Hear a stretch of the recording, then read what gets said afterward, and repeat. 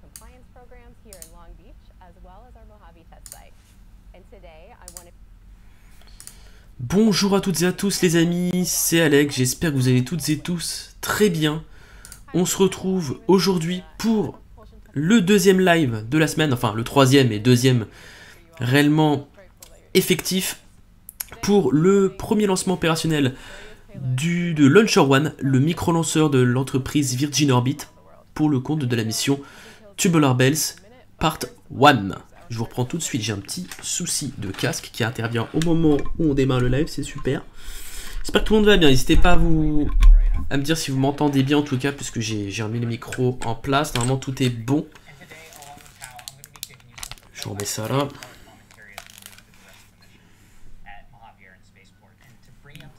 Normalement vous n'entendez plus l'audio du bureau, donc je vais le... Je le remets en place chez moi. Si ça veut bien. Hop, je le remets bien. Excusez-moi, il y a des petits soucis. Voilà, normalement vous avez l'audio du bureau ici. J'espère que tout le monde va bien. Donc, première mission opérationnelle pour le compte du micro-lanceur de Virgin Orbit Launcher One après ces deux missions démonstration qui s'étaient bien déroulées. Malheureusement, on n'avait pas de webcast, mais là on en a une vu que c'est une première mission d'un client. On part aujourd'hui de la base d'Andersen, l'Air Force Base d'Andersen dans l'île de Guam, dans l'océan Pacifique qui appartient aux États-Unis. Ça va être des CubeSats variés qui vont être lancés ici. On n'a pas le poids total de la, de la charge utile. Les clients, ce sont les, le département de la défense américaine, l'armée de l'air, l'armée de l'air royale euh, hollandaise, donc la Royal Netherlands Air Force des Pays-Bas et euh, Strat Evolution, entreprise polonaise, pour une orbite visée qui sera une orbite polaire ici. Donc euh, pour ceux qui ne connaissent pas la particularité de Launcher One, c'est un micro-lanceur qui se situe sous l'aile d'un Boeing 747 qui va la larguer après une certaine altitude euh, atteinte. Et là on est déjà... Je sais pas si le. Non, le décollage a lieu à 15h, donc on a encore... c'est pour ça que l'altitude ne bouge pas. Et vous voyez comment ça se... Ça se, ça se prépare, hein. on a le, micro-lanceur qui est sous l'aile gauche du 747, qui évidemment Boeing 747 modifié, adapté ici hein, pour les contraintes du vol spatial. Et euh, voilà, il, y a tout un remplissage qui se fait aussi en, carburant, en comburant au niveau du, micro-lanceur ici, hein, puisque le, lanceur continue ensuite sa route une fois largué par le, Boeing 747. Salut à tous, salut Hugo, salut Florence, salut Christophe, salut Antoine, salut Régine, salut Pat, bonjour à tous. N'hésitez pas à lâcher votre petit pouce bleu, ça nous aide énormément sur la chaîne, on ne répétera jamais assez. Décollage à 14h50, d'accord, il est, avancé ce décollage. Très bien, je modifie tout de suite la description. Et euh, voilà, je suis tout seul en tout cas pour ce live, pour ceux qui se poseraient la question, je ne suis pas accompagné d'un membre de l'équipe. Mais peut-être que ce soir, on sera un peu plus nombreux, parce que ce soir, rappelez-vous, décollage à 20h56, mais prise d'antenne à 20h25 pour le lancement d'une Falcon 9 de SpaceX qui va eh bien, lancer, on espère cette fois-ci correctement, la mission Transporter 2, le deuxième covoiturage spatial dans le cadre du programme Rideshare, qui a été euh, scrub aborté hier en raison euh, d'un hélicoptère qui avait euh, qui s'était introduit dans la zone de non-exclusion aérienne, donc c'est un petit peu compliqué. Voilà, je pense que j'ai peut-être, je sais pas si j'enlève la, musique ou non, je vais peut-être l'enlever pour éviter d'avoir des, soucis de copyright. Là, on est en direct de la salle de contrôle des équipes de Virgin Orbit avec le patch de la mission, hein, qui est arboré également la miniature le patch de cette mission Thunder Bells Part 1, donc certainement Tubular Bells, pardon, Part 1. Euh, peut-être qu'il y aura une seconde partie, second vol peut-être. Là on voit que les que les moteurs tournent déjà, hein. les moteurs du Boeing. 747 décolle d'où? Il décolle de d'Andersen. C'est sur l'île de l'île de Guam dans le Pacifique, aux États-Unis. Voilà tout simplement. Et euh, merci Mac pour les traductions de Virgin Orbit, c'est sympa. Veux-tu que j'active euh, le son ou... Euh? On a un peu de musique, mais si vous voulez, j'ai pas envie de, me faire claim. Donc Mac, si tu peux te mettre le live d'un autre côté, comme ça tu nous fais les traductions, c'est super gentil. Donc voilà, expected take-off, donc le décollage attendu est à 14h50, il est avancé. Voilà, ça ne va pas être 15h, mais 14h50. Le véhicule Launcher One a pour nom de code aussi Cosmic Girl. Voilà. Et euh, actuellement, le, Boeing est à une altitude de 2500 pieds, mais évidemment aller bien plus haut que ça. Euh, je n'ai plus l'altitude déjà qu'il vise avant le largage du, Launcher One, mais c'est assez, haut. Hein. Vous, voyez qu'il part, on peut voir aussi sur Flight Radar, on avait vu sur le précédent, les précédents vols de démonstration, qui partait d'un coup et ensuite qui faisait beaucoup de, bah, comme un hippodrome, mais en montant, hein, pas en descendant. Euh, lorsque justement, des fois, les avions sont en attente d'atterrir sur des pistes, ils sont sur euh, ce qu'on appelle un hippodrome. Hein, lorsqu'il n'y a pas assez de pistes d'atterrissage sur un aéroport. Et bien là, il fait la même chose, mais dans l'autre sens, dans la montée. Voilà. Et on est actuellement on est à Mojave hein, et on est à 73 degrés. Alors c'est Fahrenheit. Faudrait il faudrait convertir en, en Celsius que ça fait. Et on a un ciel clair. Voilà, et on a toute la timeline en bas, donc avec euh, le chargement de la fusée, le décollage, euh, le moment où ils vont cabrer, euh, c'est-à-dire ils vont vraiment monter en piqué l'avion, et ensuite l'atterrissage. Et pour Launcher One à droite, on a le largage, donc drop, l'allumage du premier étage, ensuite la coupure du premier étage, la séparation, parce que c'est quand même c'est une fusée qui a deux étages, hein, malgré sa taille peu imposante, Launcher One. Ensuite, on a la séparation de l'étage, l'allumage du second étage, ensuite la séparation de la coiffe. Après, on a la séparation du deuxième étage, le rallumage du second étage, la deuxième coupure du second étage et on a une euh, on a ensuite le déploiement de la charge utile, enfin des charges utiles ici puisqu'il y en a plusieurs. Voilà, donc, euh, voilà, après tout, je vais peut-être remettre euh, voilà, la commentatrice parce qu'on n'a plus de musique donc on va, en profiter. On en a vraiment en direct, tout va, bien pour la qualité, on peut pas aller au-delà de ça. Ça fait 22 degrés, ouais, ça va, c'est plutôt clément. Salut Florence, euh, Worlds 2021, les avions de ligne sont équipés d'un missile RR. Ah oui, non, mais ça fait plus que, ça fait depuis l'année dernière, hein, même 2019, je dirais, qu'ils sont, sont dessus, hein, Virgin Orbit. C'est pas, euh, c'est pas tout récent, hein.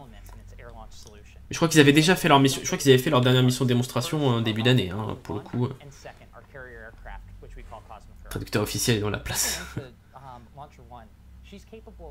Et là, on voit derrière, euh, on voyait la configuration du lanceur avec le, remplissage. Et regardez comment ça se déroule à gauche, sur votre écran de gauche. Au bout d'une certaine altitude, euh, donc on a aussi des précisions sur le carburant comburant. Vous voyez comment elle est, elle est déployée, euh, le, comment le lanceur est déployé, c'est juste magnifique. Après ça repart totalement à la verticale. Ça me fait penser un peu à la fusée Pegasus XL, hein, pour ceux qui, qui, se, qui savent de quoi je parle. Et donc ici on a du LOX pour le comburant, du kérosène RP1 pour le carburant, donc c'est un petit peu comme euh, une Falcon 9 hein, concrètement, et vous voyez comment ça se déroule au niveau d'un décollage. Voilà. Le Boeing 747 de Virgin Orbit, c'est super, super joli, on a de très belles images là. J'espère qu'on va avoir des points de vue euh, similaires ici, je pense qu'on va, on va se régaler. Que fait Ruki chez Virgin? J'ai pas, je peux faire Virgin Orbit, la masse est de 300 kg ici, d'accord. Alors quand tu parles de la masse, c'est euh, la charge utile, Mac, ou c'est euh, le micro-lanceur plus la charge utile? Enfin, c'est la charge brute du coup? Enfin, plutôt PTAC, on va dire, on va parler dans le jargon euh, transport PTAC plutôt, ou juste CU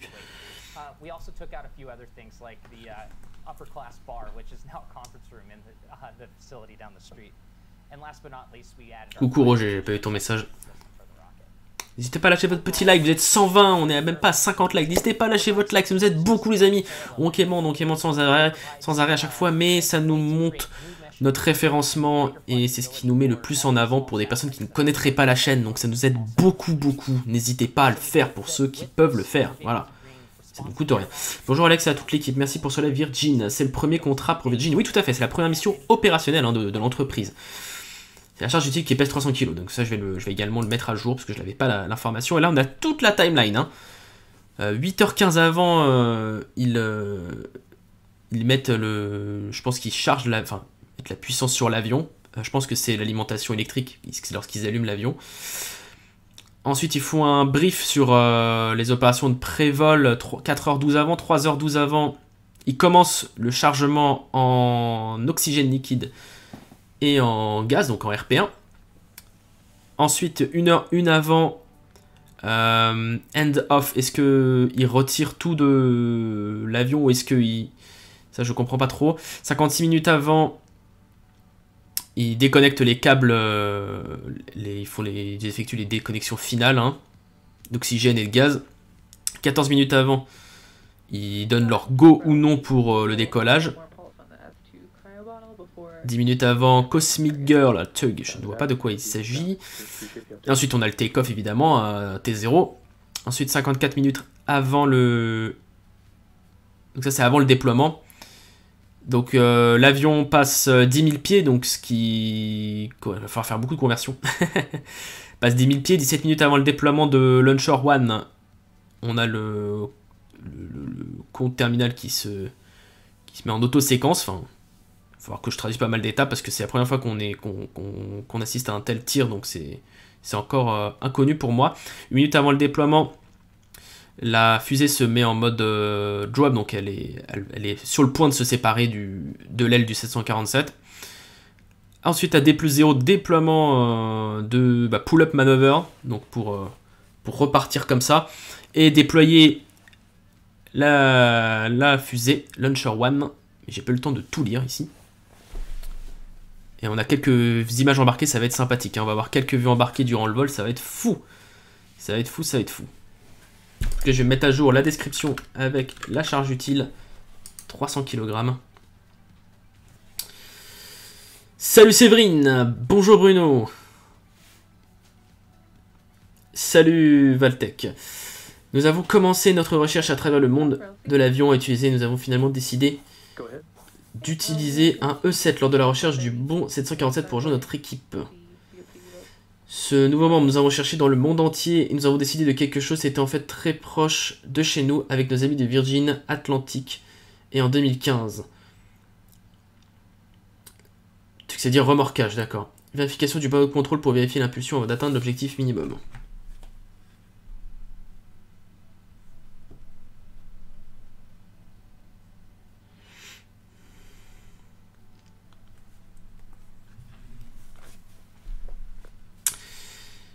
1000 pieds, 300 mètres plutôt que 3000 mètres.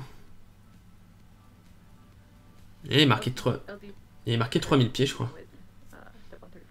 10 000 pieds, c'est environ 3000 mètres, oui, voilà. Donc à 3000 mètres.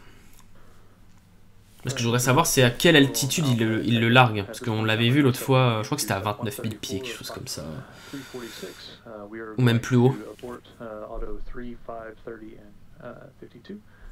J'ai fait savoir sur KSP, je trouve que ce système de launch est pas très judicieux. Un launch classique depuis la Terre est bien plus safe que l'attitude de l'avion est atteint en quelques secondes.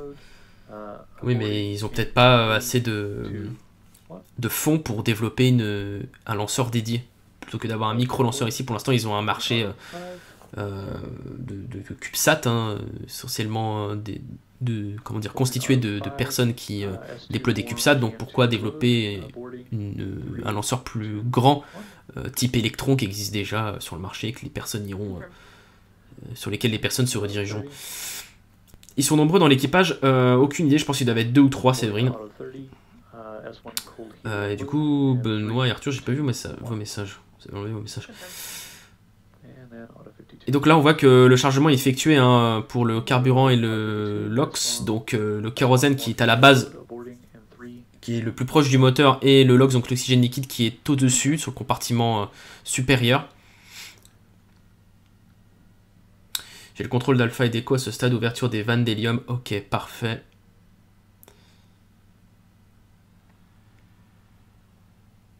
On a même les, les statuts de station de contrôle au sol. Il y en a 5. Et on a d'autres informations que je cache aussi avec ma caméra, avec les trailers.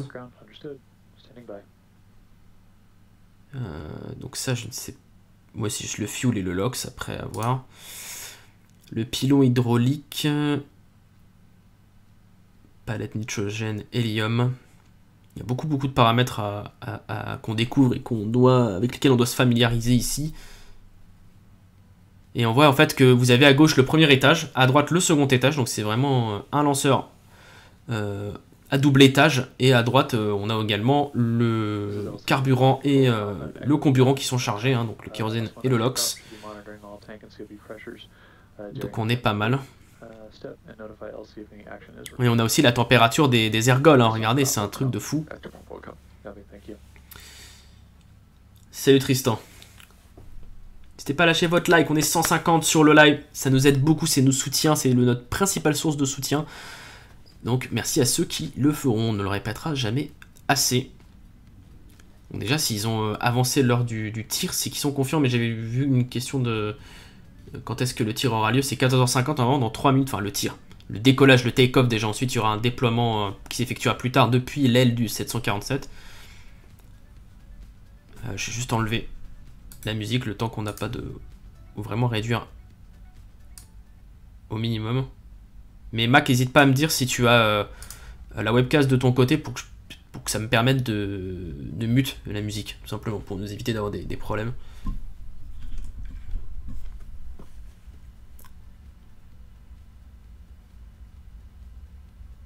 Ce bel avion.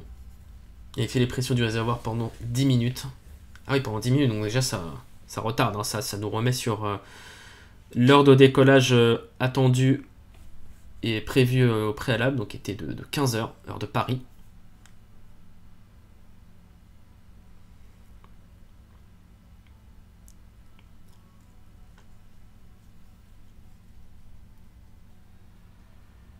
Non, non, si tu regardes bien, Tristan, le lanceur, il est sous l'aile, là.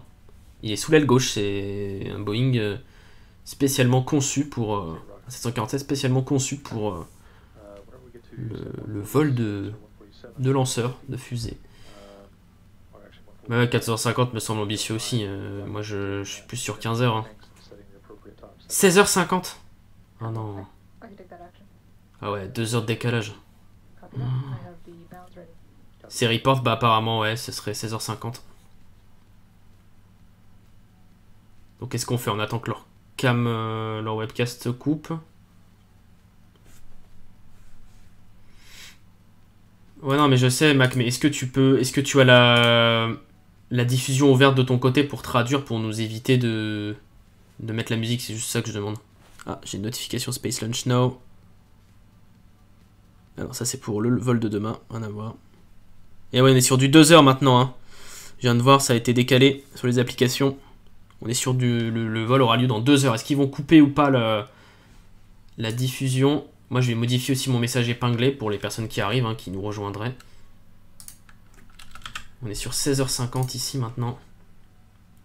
Ça a changé. Ok, tu l'as, bah j'enlève la musique dans ce cas. Hop. Ça sert à rien que je la mette. Alors. Ah, ils, sont, ils sont pénibles, hein, vraiment, parce qu'ils nous disent une heure et. euh, Franchement, c'est pénible, quoi. Donc pour l'instant, on est sur du 16h50. Nous modifions le message épinglé qui va bien ici. Hop. Donc on est. euh, voilà, c'est pour l'instant euh, reporté. Il y a un problème de pression des réservoirs d'hélium. Ah oui, bon bah, déjà. Bonne question, Bruno. Comment ils font pour répartir le poids à gauche et à droite euh, de- sur les deux ailes? Bonne question. Je pense pas que le, lanceur soit non plus très très euh, lourd. Lourd à ce point.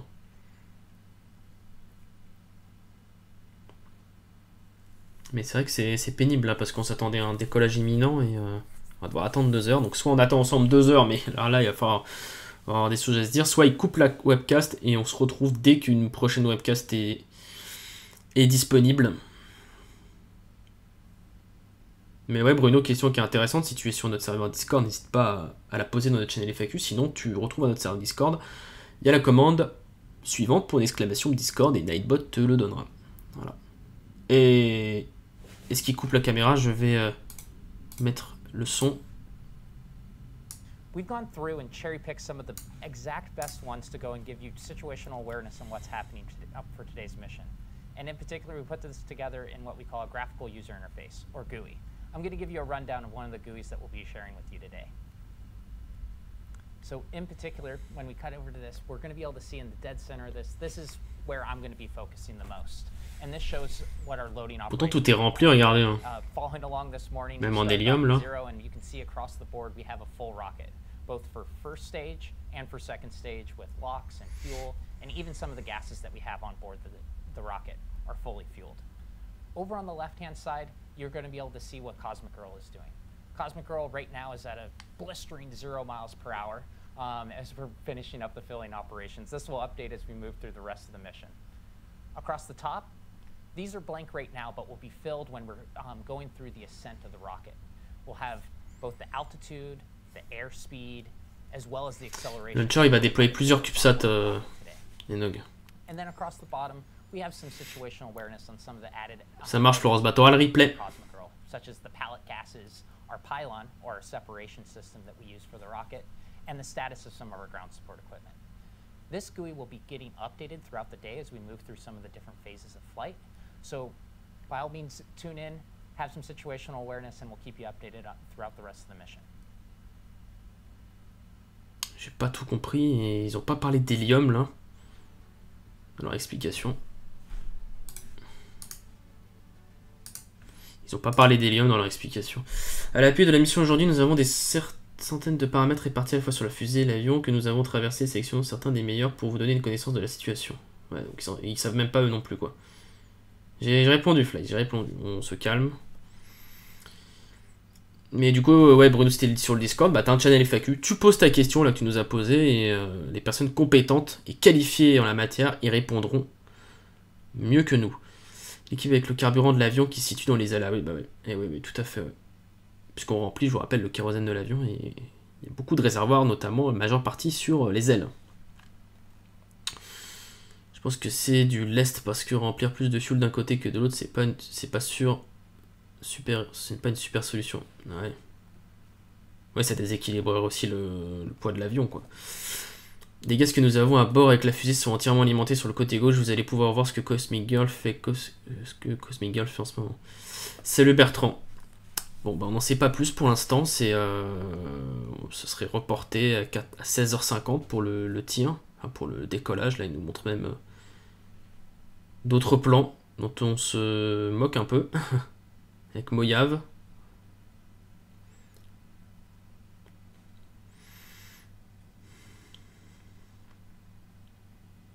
Je t'en prie, Bruno. Je sais pas si t'avais mis la bonne base non plus, euh, Quentin. Je sais pas si t'es sur le chat, mais c'était Mojave, hein, c'est pas Andersen, du coup. On est bien à Mojave ici. hein. Mais du coup, euh, on est dans l'attente là. Ils vont lancer le, petit lanceur que tu vois à ta, en haut à droite, que tu vois bien, où la caméra est vraiment focus dessus. Là qu'on voit un peu plus, on voit le moteur même derrière. C'est un micro-lanceur qui s'appelle Launcher One, qui est lancé par le Boeing 747 de l'entreprise Virgin Orbit, nommé Cosmic Girl, et qui est largué à une cer- certaine altitude, et qui possède deux étages, hein, euh, qui sont approvisionnés par euh, du kérosène RP1 pour le carburant et du LOX pour le comburant, et qui doivent larguer euh, des CubeSats variés pour trois clients. Le, départ- le département de la défense américaine, la Royal Netherlands Air Force, donc l'armée de l'air royal euh, des Pays-Bas, et l'entreprise polonaise Strat Evolution, donc pour une charge utile qui euh, comprend, qui au total enregistre 300 kg de, de payload, hein, et qui euh, doit se diriger vers une orbite polaire, dont on n'a pas l'altitude ici encore, mais euh, on espère l'avoir prochainement. Hum, hum, hum. Salut Christine. Nous avons une certaine conscience de situation sur certains des éléments supplémentaires que nous avons à bord de Cosmic Girl. Mais oui, euh, Quentin, tu t'es trompé. Donc il faut me redonner le bon lieu, s'il te plaît, euh, dans le chat ou, en privé Discord. Ou, euh. Tels que les gaz à palettes sont les pylônes ou un système de séparation que nous utilisons pour la fusée et peut-être des équipements d'assistance au sol d'été. Ah, j'ai un petit truc sur Discord. Salut Ellie, ouais, je t'ai entendu arriver. Comment vas-tu Ça va et toi Bon, je parle pas beaucoup parce que mon micro il est pas terrible. là. Ouais, on t'entend pas des masses en plus, pourtant je t'ai mis à fond, mais... Ouais. Donc on va essayer. Je vais pas parler euh, trop. Je vais parler juste euh, pour répondre. C'est quoi un comburant, Enog Ben, Un comburant, c'est ce qu'on emporte pour euh, qu'il y ait une combustion entre le carburant et le comburant, sinon le moteur ne s'allume pas, ne crée pas une étincelle et ne s'enflamme pas et ne s'allume pas. C'est comme pour votre moteur de voiture par exemple, hein, il a besoin de carburant, diesel, essence ou même euh, électricité, hein, dans ce cas-là avec des batteries lithium-ion. Mais il a aussi besoin d'air pour fonctionner. Le comburant c'est de l'air, sauf que comme dans l'espace vous n'avez pas d'air, vous êtes obligé d'emporter l'air avec vous dans le réservoir de votre lanceur.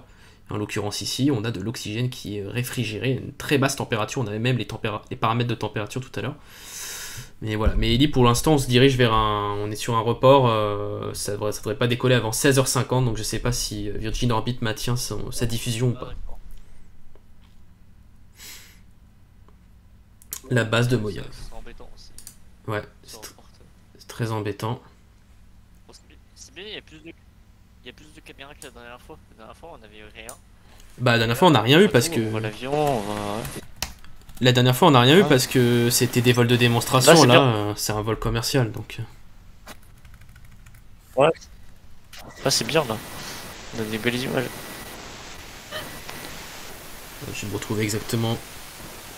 Je vais baisser un peu ton son parce qu'on entend tout ton grésillement. Que là, pourquoi ça a eu un report Qu'est-ce qui s'est passé? Apparemment, je crois qu'il y a un souci avec le- l'hélium qui doit pressuriser le tout. Mais on n'en sait pas plus. Ah, ok. On n'en sait pas plus, on n'en sait pas plus. Je me sentais un peu seul, là, je suis content d'avoir quelqu'un quelqu'un avec moi. Je travaille. Là, y a pas de souci, euh, t'es pas obligé. Euh, pas- Ah, le. Le hall de d'hier, oui, mais quand même. je- Là, le hall de d'hier, bah, c'est simplement un, mec qui est passé en avion en c'est un voilà. hélicoptère finalement. On, a, on sait que c'est un hélico maintenant.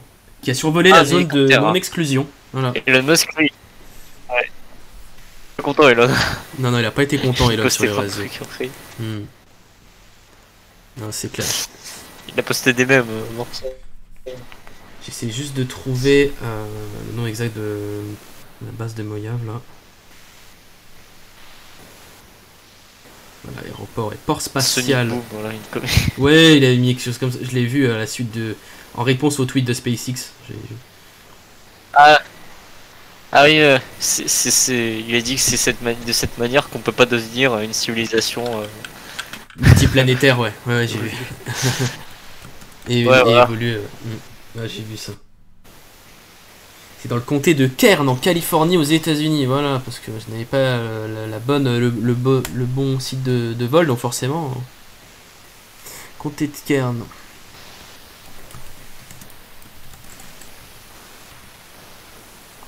Comté de Kern, Californie. Ou sinon, euh, Ellie, si tu parles pas, essaye de te muter, tu sais, parce qu'on entend un, un bruit de fond. Je pense que c'est pas très agréable pour les, pour les vieux. Ouais. Ah ouais. Ok. Ça marche. Il y a le moteur de l'avion qui bouge, ouais, mais il est très, il est peu, peu actif, quoi. Je vais reprendre vos messages parce que du coup, euh, vous allez procéder à la pression du réservoir de l'axe de l'étape 2. L'axe, j'ai pas compris.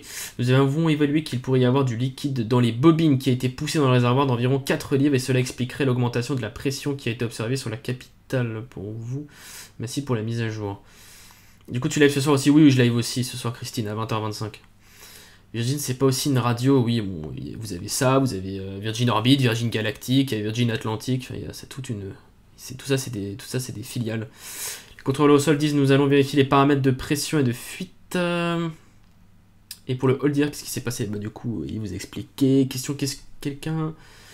Est-ce, que quelqu'un connaît comment l'avion ne peut-il pas être déséquilibré avec un lanceur de plusieurs dizaines de tonnes? Ah, Est-ce qu'on t'a répondu? On est en train de se, de se renseigner. il se Ah. Euh, bah après, c'est avec la puissance hein, des moteurs. hein.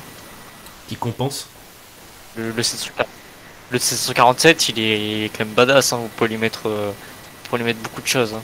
Ah bah, je vous rappelle que Et, le euh, les moteurs, 747, euh, à l'époque transportaient des navettes spatiales. Ils hein, sont aussi, hein, modifiés. hein. quand même, non Ah Ouais. a... Donc une fusée sur un, sur un côté, voilà, c'est pas grand chose. Après, déséquilibre. Ouais, il suffit de mettre plus de puissance ou alors de, de compenser en mettant plus de poids à droite aussi. Hein. Mm. Plus de carburant à droite sur l'aile. Oui, Tristan. Oui, mais bon, après, je pense pas que ça, ça impacte trop. Salut Maxime, alors il y a eu un hélicoptère en fait qui a survolé la zone de non-exclusion euh, hier, euh, définie par le TFR, enfin le Temporary Flight Restriction, et, euh, et bah, du coup ils ont, euh, ils ont reporté le vol à aujourd'hui. Voilà. Parce que des fois il y a des avions qui peuvent hein, survoler quand même la, zone de non-exclusion grâce à des autorisations, mais d'autres appareils n'en ont pas le droit, et c'est un appareil qui n'en avait pas les droits, donc euh, euh, il s'est fait rappeler à l'ordre certainement, et à cause de ça, euh, le vol n'a pas eu lieu. VO, nous avons un problème. Attendez, ça va trop vite là. Nous avons un problème. Besoin que de trois choses pour voler à partir d'un site de lancement donné une licence de lancement, une piste et un ensemble d'équipements de soutien au vol. Ou GSE, donc GSE, ce sont les Ground Support Equipment. hein. Un peu l'image de ceux qu'on a à Boca également. Boca Chica. Salut Raphaël. Le moteur du. Moins les pales rouges, mais le moteur est bien éteint. Le moteur est éteint. Euh, salut Valentin. Notre entreprise GSA est en fait très petite et peu coûteuse par rapport au système de lancement plus traditionnel. Cela ne représente qu'une poignée de remorques transportables que vous verrez dans ce graphique à venir qui sont la clé de notre système Mobility, un exemple unique pour cela. Il va y avoir des images, oui Raphaël, mais pour l'instant ça décolle pas, donc euh, pour l'instant on n'a rien. Salut Sylvia. Ici à Moyave aujourd'hui les remorques sont li- littéralement entrées dans le port spatial sur des routes normales. Comme toute autre voiture, nous les raccordons à la fusée pour le chargement, le ravitaillement et d'autres opérations de pré-lancement. Il y a des réservoirs dans les ailes sur les avions. Ah oui, mais c'est là que tu. C'est là que sont. C'est là que sont contenus les réservoirs des... en kérosène euh, sur n'importe quel avion. hein. Sur euh, quasiment tous les avions, hein, en fait. hein. Welcome ou, euh, ou Jo vous en parlerai mieux que moi, mais je connais quand même ce détail. On a encore un peu de musique, donc je coupe pour l'instant, mais. Chez Ellie, si t'as la webcast à côté de toi, n'hésite pas à me dire lorsqu'il n'y a plus de musique, lorsque je peux remettre les... le son.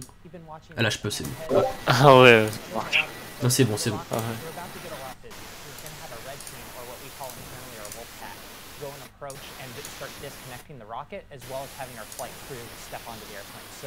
Tu peux juste couper ton son. expect a few more people joining the show today.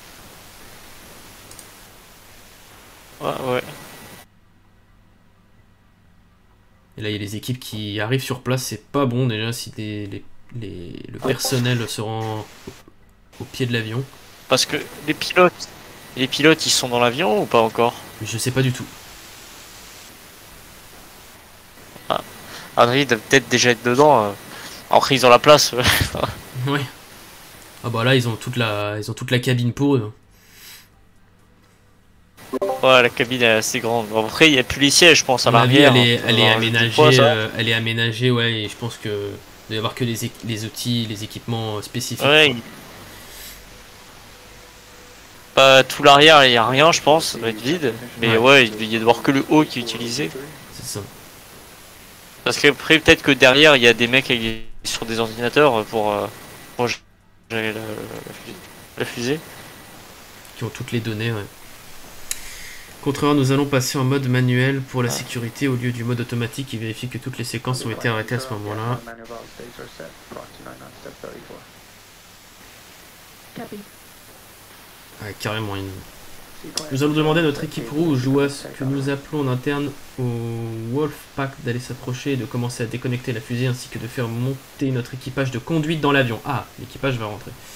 Alors restez à l'affût et attendez-vous à ce que quelques personnes supplémentaires rejoignent la mission aujourd'hui, je pense que tu voulais dire. Oh, et bah du personnel arrive, il y a encore du personnel qui arrive, ils sont, ils sont nombreux là. Ils courent, ils accourent à l'avion. Je sais pas si c'est une bonne nouvelle ou pas, parce que s'il y a beaucoup de monde qui arrive comme ça, moi je dirais pas que c'est une bonne nouvelle, c'est qu'ils doivent intervenir sur le, le lanceur et d'autres parties. Est-ce qu'il y a déjà un astronaute euh, disparu dans l'espace? Bonne question, Max, euh, je ne pense pas. Ce serait affreux. Contrôleur de sol, nous allons vérifier avec l'équipe au sol, salle de contrôle, recevez-vous toutes les informations VO OK copie.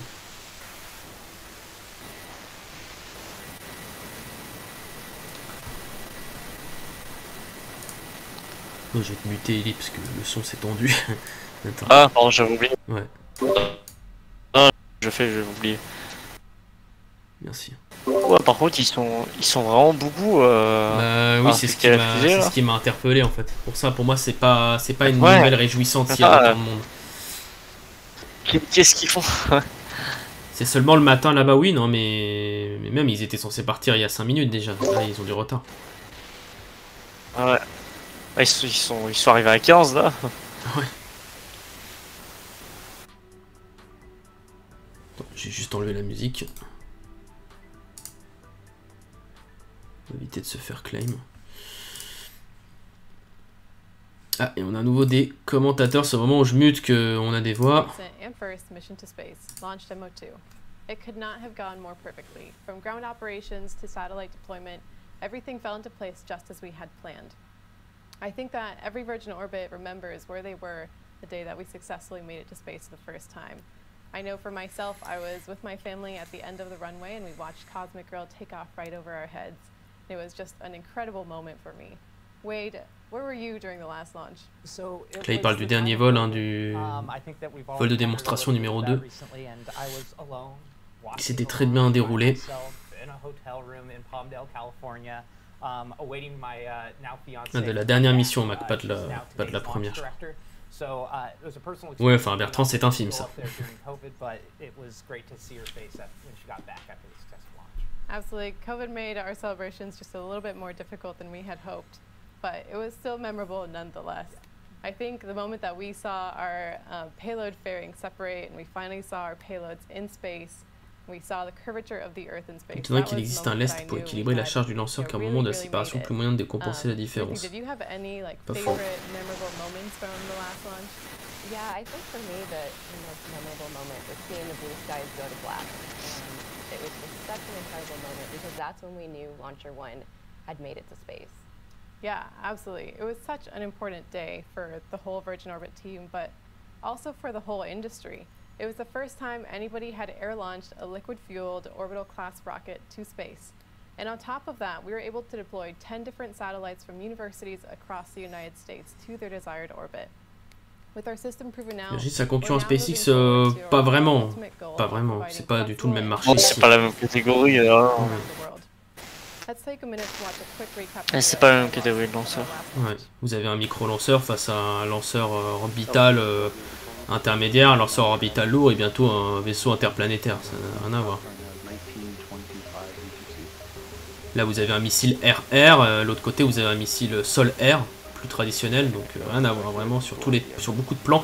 Mis à part, euh, justement, carburant et comburant qui sont les mêmes, quoi, mais sinon. euh, regardez comment ça se déroule, hein, un vol de, de Cosmic Girl, donc du Boeing 747, avec les pilotes à l'intérieur. Au moment où il déploie Launcher One, c'est impressionnant. Ellie est déjà dans le cockpit.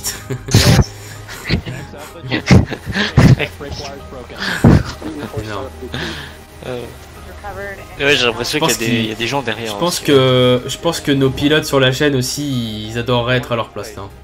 Mauritius has confirmed Le pilote de l'équipe là. Ouais, parce qu'ils montent haut, euh, je sais pas combien de mètres ils montent par bah contre. justement, j'ai toujours j'ai pas la 47 avant de j'ai pas la chat. date- j'ai pas la donnée Alors, précise et j'aimerais bien la voir.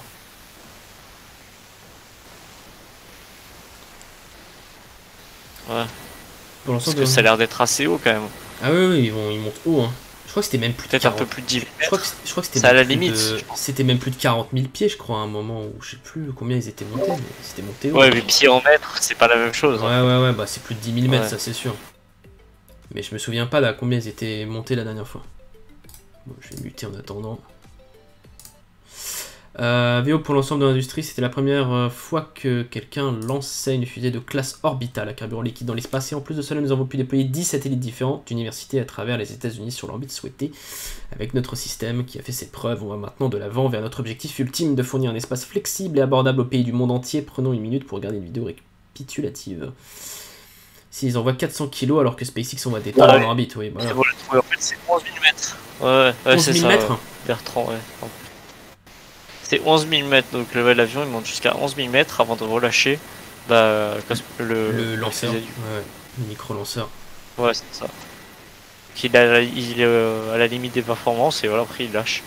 Ouais, il va, je sais qu'il cabre à, à fond et puis avant de, avant de déployer, il fait un pull-up. Donc il, il se dé- il se décale légèrement après vers la droite et il s'en va. Ouais, Virgin Galactic prévoit d'envoyer dans l'espace 5 passagers par an au coût de 250 000 dollars chacun à une altitude de 110 km et d'une durée d'allant d'une minute à une heure. C'est quand même, je pense, plus rentable que, que Blue Origin avec ses 10 minutes et euh, des millions de dollars dépensés là. Mais bon. Après Blue Origin, vous avez un système euh, euh, qui est, je pense, plus sûr. Avec une capsule qui revient, enfin qui s'éjecte aussi au cas où il y a un problème sur le lanceur, alors que le vaisseau de Virgin Galactic, s'il y a un problème qui intervient dessus, vous êtes mal quoi. 10 700 mètres d'après Wikipédia. Alors après Wikipédia, Wikipédia est une source euh, collaborative qui n'est pas toujours très fiable, mais euh, on peut, euh, je pense que ça s'approche de, ça se rapproche de ça. On dirait un bombardier qui lance un missile intercontinental. Sauf que là, ça se dirige vers l'espace. Est-ce que j'ai loupé des messages du coup entre temps Non, on est bon. Peut-on faire un vol habité avec ce mode de lancement? Je pense pas. Il a pas assez, y a pas suffisamment de- d'espace pour y mettre une capsule. Il y a déjà d'autres euh, d'autres capsules et d'autres lanceurs qui sont qui sont dédiés. hein. Vous avez bah, New Shepard avec euh, sa capsule. Euh, vous avez bah, Virgin Galactic, vous avez Crew Dragon de SpaceX, vous avez Soyuz de Soyuz de Roscosmos. Et vous avez aussi Starliner de Boeing euh, depuis une Atlas 5 de- du LA, du United Launch Alliance, et vous avez également bientôt Orion depuis euh, le SLS de la NASA. Donc ça fait quand même pas mal de véhicules qui peuvent lancer des, équipages euh, et des hommes, donc c'est déjà, je pense, assez presque saturé.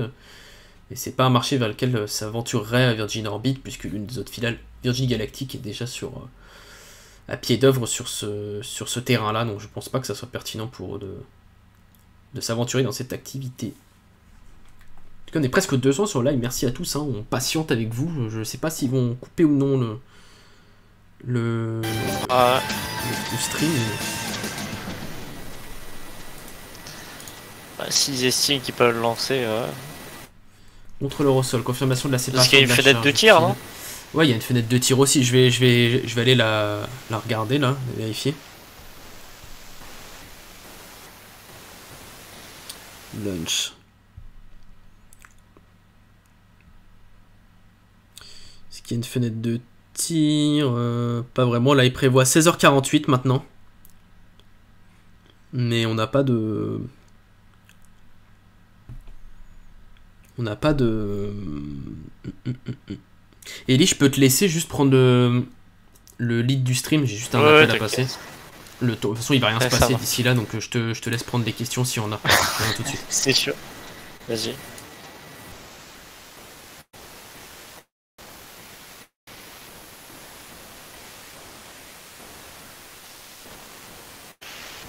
Bah, Elon, il passe plus de temps à travailler euh, qu'à profiter euh, de l'espace. C'est vrai que pour l'instant, il a pas trop envie d'y aller. Il sait même pas si c'est sûr pour lui. Mais, euh... Mais bon, ouais, c'est pas tout de suite.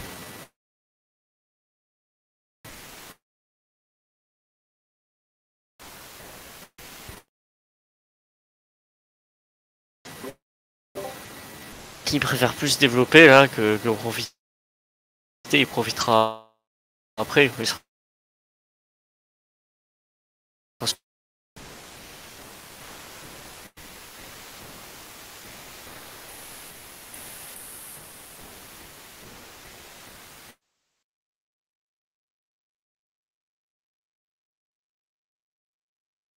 D'informations pour l'instant parce que déjà il faut qu'il valide la version euh, non habitée. Et ensuite ils verront, mais là euh, il n'y a pas grand chose quoi. On n'a pas d'infos, enfin je veux dire information, on n'a vraiment rien.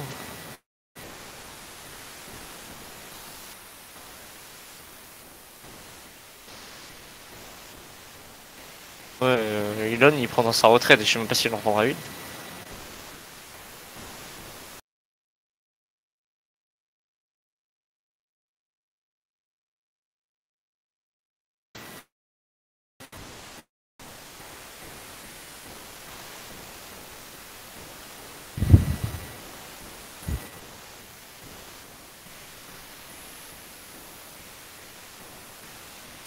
Ah, il quitte peut-être. Re tout le monde. Le- Ah non, non, je... juste des gens partir. Que se passe-t-il? Ça Ah, rien de nouveau. À nouveau? Voilà. Alors, il y a eu des, pas mal de messages là, faut que je les lise. Ce qui est la capsule ayant plus servi pour le tourisme spatial et ce depuis avant même la création de Blue Le Alexa. Avec le Starship, est-il prévu une partie éjectable en cas de problème? Bah, ça, c'est une grosse euh, problématique aussi, grosse interrogation, puisque pour l'instant, non, mais je pense que. Ouais. Je pense que pour le vol habité, ils vont être obligés de, de faire un système euh, d'évacuation d'urgence hein, pour qualifier le vaisseau, comme ce qui avait été, le- ce qui avait été le cas pour Crew Dragon hein, aussi. hein, donc, euh, Ouais. ils vont être obligés. Euh, pour l'instant, il faut Ouais. rester réaliste. Seuls SpaceX et Roscosmos sont capables d'envoyer des gens en orbite, tout à fait. Ça fait longtemps que je plaisante sur le fait que Musk ne soit pas encore, ne soit pas encore offert un vol. En attendant, Bezos va monter. On en conclut que Bezos. Si, tu peux baisser ton son, Ellie. On en conclut que Ah, Bezos pardon. est fou ou que son lanceur est plus dangereux. Euh, non, mais c'est juste qu'il a pas, il a pas beaucoup de fonds qui rentrent, donc il est obligé de faire une telle com comme ça pour que ça attire des, des clients, hein, je pense. C'est pas qu'il est fou, c'est que s'il monte dans son système, c'est que le système est sûr. Ils ont déjà fait, ils ont déjà effectué 15 vols de test par le passé, donc euh, c'est que la capsule est qualifiée et maintenant elle est prête. Donc euh, dans un mois, hein, maintenant tout pile, dans un mois tout pile, on va assister à ce tir euh, fantastique, premier vol commercial de New Shepard Blue Origin. Quand le Starliner version habitée va décoller fin juillet aussi. Du coup, c'est, je crois, pardon, c'est 20 juillet hein, pour Blue Origin NS16 et 30 juillet pour euh, le deuxième vol de démonstration non habité pour euh, Starliner. C'était son Starliner de Boeing et le vol habité devrait avoir lieu le premier en décembre prochain. Elon, quand il ira dans l'espace, c'est pour aller sur Mars et mourir de vieillesse. pour coloniser la planète. hein. Ça se tient, Bertrand, il aura un max de choses à régler là-haut. Euh, Il y a un système de sauvetage. Il se passe quoi là? Vous pouvez faire un résumé rapide. La navette n'avait pas de système de sauvetage, tout à fait également. Je viens de prendre le contrôle permettant le transfert des données CECE. Salle de contrôle, veuillez vérifier tous les paramètres si la pression est nominale. Alors on a eu un problème de pression d'hélium, Lorient, tout à l'heure, ce qui retarde ce vol. Ce décollage de, de Cosmic Girl, hein, le Boeing 747 de Virgin Orbit qui doit déployer Launcher One, le micro-lanceur que tu vois sous l'aile. Et donc, euh, normalement, euh, le, le vol maintenant est prévu à, à, 4 à 16h48 maintenant. Donc euh, voilà, l'heure de initiale c'était 15h, ensuite ils l'ont avancé à 14h50 pour se rendre compte que finalement euh, bah, ils étaient un peu trop optimistes et que c'est euh, repoussé maintenant à 16h48. Heure de Paris. Hum, Donc cette mort avec Challenger qui aurait pu être évitée, oui, donc 14 morts au total, hein, tout à fait. Avec les navettes, Ah ouais, ça fait, ça fait beaucoup, ouais. Beaucoup, c'est pour ça qu'ils l'ont retiré, ensuite ils les ont retirés du service, hein, et que pendant... euh, Challenger Pendant 9 ans, euh, la NASA s'est retrouvée euh, dépendante des Russes en attendant de changer de, de vaisseau. Et maintenant, Crew Dragon est opérationnel depuis 2020, mai 2020 maintenant. Donc ça va mieux, mais il y a eu de, quand même 9 ans de disette sur le, le sol américain. Est-ce que un espace envisage d'envoyer des versions habitées de ces lanceurs? Bah, Ça a été en discussion il y a quelques semaines de ça, hein. donc euh, à voir, mais je sais pas. Est-ce que l'Europe souhaite euh, également avoir de l'indépendance sur ses vols habités, ce qui serait pas mal, hein, parce qu'elle paie aussi des, sièges hein, auprès de SpaceX pour envoyer ses astronautes, donc euh, comme Thomas Pesquet ou bientôt dans le futur Mathias Maurer. Donc on verra bien. Les opérations autour de l'avion sont apparemment prévues. Pour l'instant, on est encore, euh, on sait pas trop ce qui se passe. Là, vous voyez tout le profil de vol. hein. Euh, depuis le l'aéroport, le port spatial des Moyaves, le décollage qui a lieu. Ensuite, on a le drop-up qui a lieu. Donc, le drop-up, c'est le, le moment où ils vont lâcher Launcher One. le lâcher. euh, Ouais, ouais, Ouais. tout à fait. Les gars, faut entendre ta musique, Ellie. on va éviter de se prendre un, un autre claim. Comment comment c'est possible d'entendre la musique Bah, je sais pas, mais je l'entends. Genre j'avais une vidéo en fond, mais euh, Mais je l'entends. Je pense que ton il est micro, tout éclaté. euh, ton micro là, c'est tendu. Et donc là, on a tout le, on a Mon tout le est profil. hein. mort. hein. On a tout le profil hein, avec euh, l'école de, de la droite. Enfin, j'ai j'ai pas suivi tout le, tout le plan de vol. Je vais pas me tromper. Vous avez tout le plan de vol à, à l'écran. Est-ce que la fusée tient avec un gros aimant puissant? Non, mais elle est attachée par un socle hein, que vous voyez sous le dessous de l'aile. Et là, on a le pilote en chef Eric Bippert, qui doit certainement être le, le commandant euh, d'un des vols euh, Virgin Orbit. On va essayer d'avoir un peu de un peu de son. Uh, Il était aussi pilote de chasse. hein. I became a uh, instructor pilot at the C-17 schoolhouse. Il est pilote instructeur. Instructed you know, literally hundreds of students how to fly the C-17, and uh, I found that to be really rewarding. Uh, after that, I went to uh, Air Force Test Pilot School, and I ended up spending the last 10 years of my career all at Edwards Air Force Base. I'm also uh, no stranger to dropping very large and heavy objects uh, out of airplanes. Pointe Long Beach, mais pas Los Angeles. Uh, Orion space capsule to a record uh, 85,000. Il connecte tous les câbles et tuyaux. NASA Ares Ouais, rocket c'est pas bon ça. um, to even a live ballistic missile. Overall, I've flown uh, 49. NP uh, different Ok, je regarde. Mac. Cosmic Girl is going to be my 50th. So Alors tout de suite. um, I think uh, that's going to be a, a pretty cool milestone for me. I mean, launching rockets into space, I, I don't think I can say that without having a little smile on my face. Um, and really, in addition to that, C'est assez long ce que t'as envoyé, Mac. Je peux pas tout lire. Really believe in what we're doing, you know, across, the full gamut of, um, you know, small satellites to, you know, benefit science, education, and, uh, you know, connectivity, Je pense que t'aurais pu le mettre dans le chat parce que du coup, euh, là tout lire depuis l'autre écran, ça va pas être, euh, ça va pas être pratique. Et après, il y a des boulons explosifs qui les détachent, c'est ça. Euh, je sais pas comment ça fonctionne, Tristan. Je vais pas te donner de mauvaises informations. SLS, ça décolle en novembre, je crois. Normalement. C'est comment comment t'as dit ça, euh, Ellie? Ça décolle pas en novembre, SLS Ah si si, mais je parlais pas des SLS, moi. Parce euh, que là, je oui, répondais à la question de Tristan s'il y avait des boulons Ah non, non, mais je, je répondais à une question. Mais SLS c'est novembre, hein, oui, une question, SLS c'est début ouais. novembre, oui. Hmm. Ah, bientôt. bientôt. Enfin, bientôt. Encore dans 4 mois quoi. Alors, on avait le pilote en chef juste avant, là on a Kelly Latimer qui euh, pilote de test en chef. On voit que c'est des expérimentés hein, qui volent depuis 84, 86. euh, ils ont plus de 35 ans à leur actif d'expérience. Là on a un pilote plus jeune, Matthew Stani- Stannard, qui vole depuis 2006, qui a 3000 heures de vol à son compteur et 200 heures de vol euh, en vol de test et il a le titre de lieutenant de vol.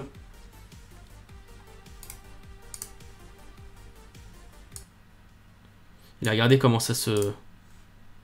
On a toute la séquence de lancement. C'est aussi avec euh, une vue euh, en 3D, vue informatique. Et après on voit la fusée qui, euh, qui s'élance, puis ensuite le premier étage se sépare, le deuxième étage prend le relais. Et ensuite il déploie la charge utile, les CubeSat en l'occurrence, ici. Et ensuite, euh, ouais, c'est les équipes qui euh, opèrent le, satellite qui, prennent le relais une fois que le transport s'est bien déroulé. Mais effectivement, ils sont en train de détacher des câbles, donc c'est pas bon signe. Là, on a un visuel. On a effectivement un visuel, donc c'est pas, pas le top du top. Mais bon, je vais relire le, le, je vais lire le message de Mac qui est assez long. Donc aujourd'hui, Cosmic Girl est piloté par notre donc le pilote d'essai en chef Kelly Latimer, qu'on vous avez vu en, premier, euh, en premier ici, lors de la première interview. Euh, le pilote en chef Eric Beau, donc ils sont au total, j'ai l'impression qu'ils vont être 4. Nous devons également lancer des ingénieurs à bord. Jason Pantalon, Pantalon en ce moment et Brice Scaffer. Récapitulons rapidement à quoi ressemble le profil de vol. Ouais, ils sont beaucoup à voir, ouais. Vous savez à quoi vous attendre, Cosmic Girl décolle et jette un œil après avoir quitté le, port spatial de Moyave.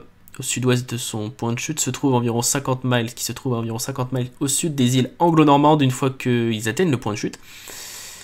Ils entrent dans la boucle qu'ils appellent, l'hippodrome, c'est ce que j'ai expliqué au tout début du live. hein. Pour le coup, là, ça, confirme ce que j'ai dit, c'est un hippodrome, mais euh, en ascension et pas en, en descente comme la plupart des avions font lorsqu'ils attendent euh, de pouvoir atterrir, lorsque les aéroports sont saturés et qu'ils ne disposent que par exemple d'une seule piste d'atterrissage, c'est ce qu'ils font, utilisent le système d'hippodrome pour, euh, pour arriver, ils sont en attente en fait dans cet hippodrome pour éviter qu'il y ait des, bah, pour respecter aussi les nautiques de, de distance, les distances de sécurité entre chaque avion. hein. Et euh, ici, donc ils, ils entrent dans la boucle appelée hippodrome. Pendant qu'ils attendent les derniers allées chacun, derniers allées et venues de chacun, pendant ces sondages. Ensuite, leurs opérateurs de console vérifient l'état de santé et l'état de l'ensemble du système de bout en bout. Le premier tour de Cosmic Girls autour de la piste de course est passé, ce qui permet de vérifier que les vents sont bons et qu'ils ont une connexion solide en bande passante pour la télémétrie. Je rappelle qu'il y a 5 stations au sol hein, pour, euh, pour faire le, tout le relais de la télémétrie. C'est également dans leur système autonome de sécurité des vols où un FSS confirmera qu'ils ont les bonnes conditions pour envoyer un lanceur en orbite. Après cela s'engage dans leur séquence automatique de comptage de terminaux qui dure environ 15 minutes après le comptage de terminaux. Launcher One entre en mode prêt à l'emploi et est totalement autonome lorsqu'il repasse le point de chute. Kelly tirera Cosmic dans un angle de tangage assez pointu d'environ 30 degrés, donc ce qu'on appelle le, le, pull-up, enfin je sais plus si c'est pull-up ou euh, l'autre, ce que- ce qu'on a dit avant. Environ 30 degrés de point de rosée. Ils vont ensuite lancer le Skyward avant qu'elle ne libère manuellement la fusée. Elle lâche euh, Launcher One, on l'entend dire après le largage. La fusée tombe environ 5 secondes avant que le moteur principal euh, démarre et accélère la poussée et la fusée à travers la haute atmosphère. Euh, le premier étage se détache après avoir, bah, dès qu'il n'a plus de carburant, dès qu'il ne dispose plus de carburant dans son réservoir. Puis le moteur de l'étage supérieur Newton de Launcher One s'allume pour terminer la dernière partie du voyage orbital. C'est la première fois que le pilote en chef Eric aide Cosmic Girl depuis qu'il a rejoint l'équipe l'année dernière. Et donc euh, là on a eu on a eu justement l'interview d'Eric tout à l'heure. Et après c'est à peu près tout. Voilà, je vous explique à peu près en gros, le gros la séquence de vol, séquence de lancement. Merci Mac.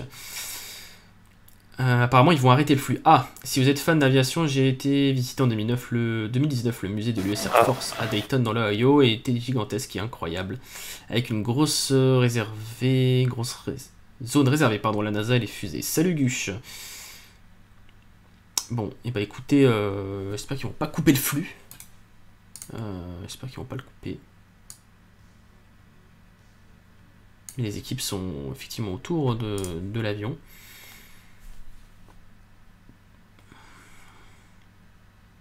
On attend de voir ce qui se passe. Ils l'ont pas arrêté pour l'instant le flux, donc euh, je vais aller voir sur leur, leur Twitter là ce que ça, ce que ça raconte.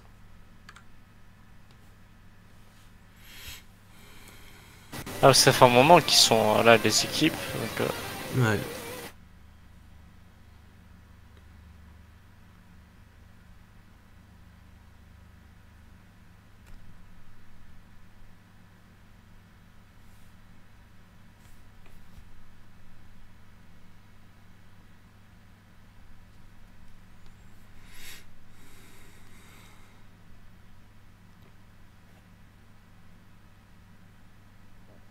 Viens de voir, ouais, il y a... bah, du coup, il y a les Raptors qui sont arrivés à Starbase. Ouais, tout à fait, ouais.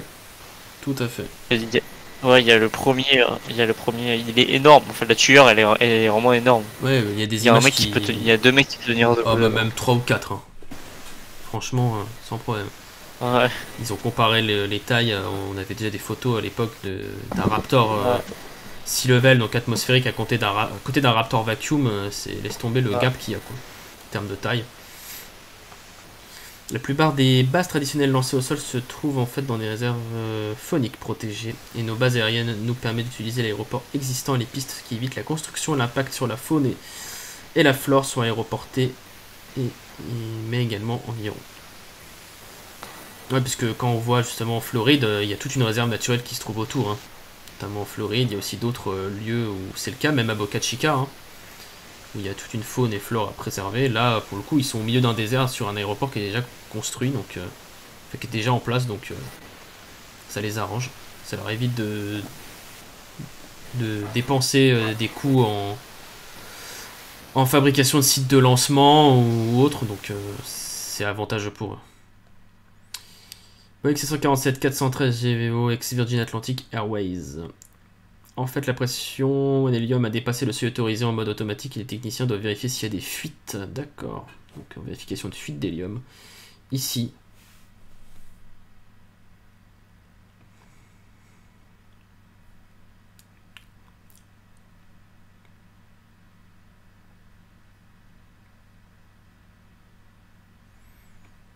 Pour l'instant, ils n'arrêtent pas, le, pas le stream. Hein. Et puis, euh, je peux voir des petites lumières là de, de l'avion arrière-plan.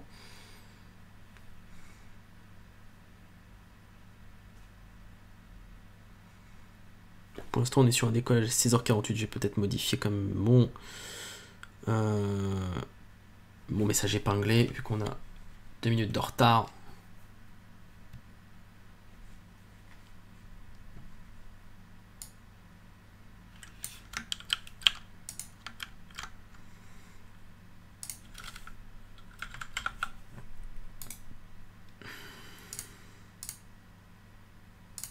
Tac, on est bon.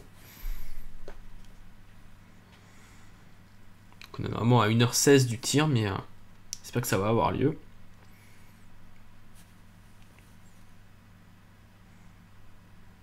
Je vais voir si on a nouveau une musique ou pas, ou si on a juste des commentateurs. Non, juste une musique pour l'instant.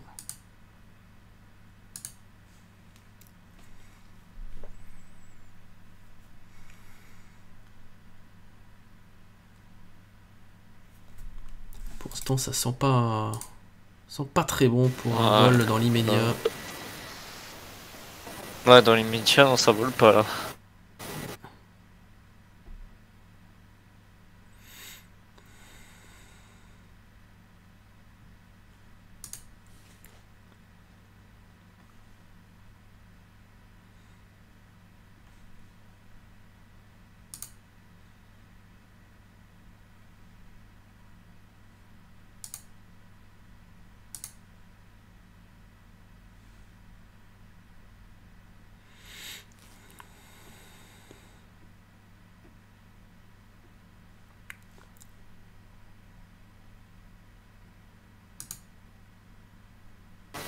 La musique, je crois, il faut tu. ouais. Ouais, ah, on a du.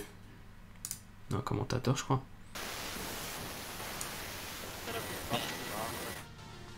Non, toujours la musique qui est en place. Et ils sont en train d'inspecter maintenant le Launcher One. Ils ont pris un escabeau et, à mon avis, on vérifie s'il n'y a pas de fuite là euh, au sommet du lanceur.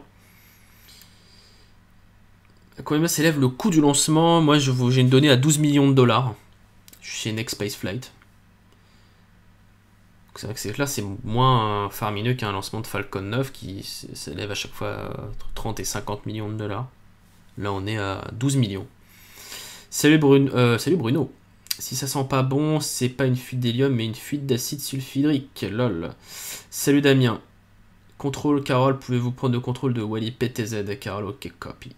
Une heure de retard, mais je ne suis pas si en retard que ça. Non, non, bah écoute, euh, même euh, au contraire, t'en avances parce que maintenant le, le vol est repoussé à 16h48. Donc euh, voilà, les équipes sont en train d'inspecter euh, le micro-lanceur Launcher One puisqu'il y a euh, apparemment une fuite d'hélium. euh, qui. Enfin, pas une fuite d'hélium, il y aurait, il y aurait possiblement une fuite Ah, il d'hélium c'est des fuites. Hein. Ouais. Ouais. qui serait en cause. Ouais. Donc euh, on attend de voir.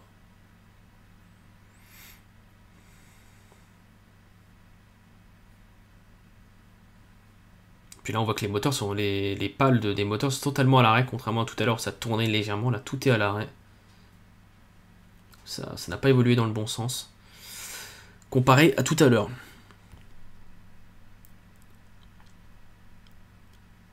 Mais du coup, je vais peut-être vous parler un peu plus des, des CubeSats. Là, j'ai un peu plus en détail les noms de, de ces derniers. On a euh, STP-27VPA, qui est un programme de test spatial pour le compte du département euh, de la défense américaine, qui est conduit par euh, des systèmes avancés de développement de directoire, euh, pour le compte du directoire de, du l'espace et des du centre de, du système de missiles des États-Unis, de la de l'US Air Force tout simplement. Il y a quatre charges utiles STP-27 VPA en orbite basse terrestre, Brick 2 qui est une charge utile de la- l'armée de l'air royale hollandaise des Pays-Bas, qui est le premier satellite militaire euh, hollandais.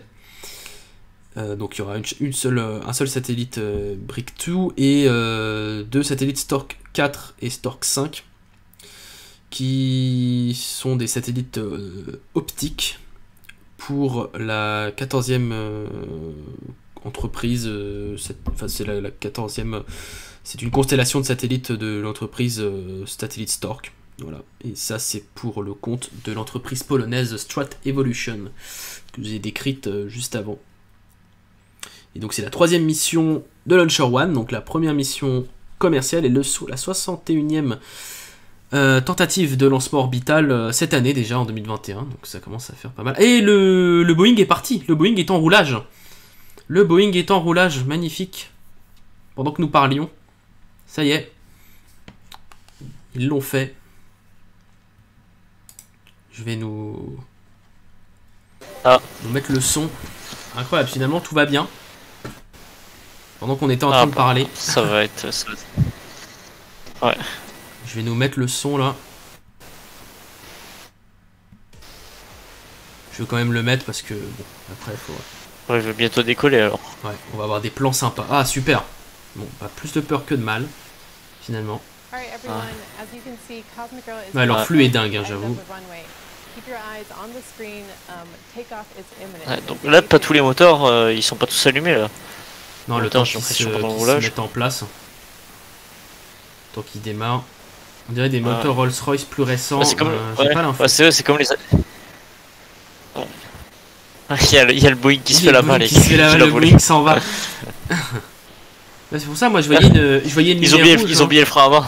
Moi je voyais une lumière rouge tout à l'heure, je me disais il va partir, c'est pas possible. J'ai eu raison. Salut Toto, bonjour de- Thomas de l'école d'Origny. Bah bonjour à toi, bonjour à tous les, les écoliers de l'école. Origny Sainte-Benoîte. Ou Elric, le vent entraîne parfois les fans du réacteur. Suis calé en aviation et juste pour te dire que niveau moteur d'avion, rien n'a changé, c'était juste, le vent qui les faisait tourner tout à l'heure. Ah d'accord. Cosmic Girl est prête, tout à fait. On est parti pour un super lancement, un super décollage. On va avoir un décollage et un lancement à la fois dans un seul et même live. C'est dingue. Bon, je vais laisser la musique pour le coup, elle est faible, mais on a, on a le bruit du relâche, on va avoir le bruit du décollage, donc c'est pour ça que je vous, laisse, je vous laisse ça. On a de magnifiques images là.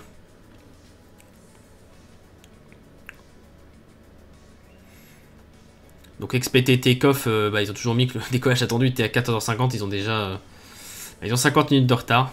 Mais bon, tant mieux si ça décolle avant 14h... euh, avant 16h48, pardon.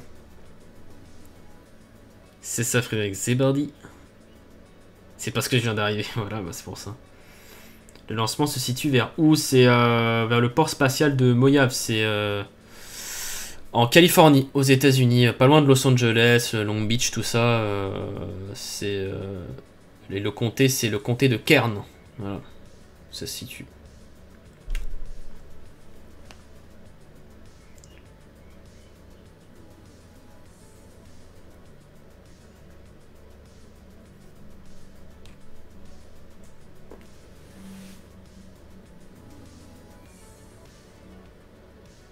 Les- on, a un- on a des images de fou avec euh, le désert et la, la montagne derrière le- les images. Avec la, la lumière, Ouais. la luminosité du, du lever du jour, ouais.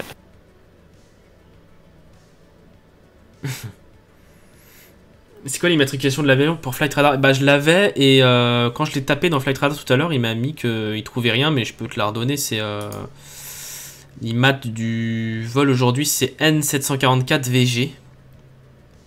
Euh, ah non, c'est N747 VG, je pense. Il s'est peut-être trompé, euh, comme c'est un 747. Je pense que c'est N747 VG. Je vais regarder tout de suite sur, euh, sur Flight Radar. Je vais regarder sur mon application plutôt sur mon téléphone, ce sera plus facile. Alors.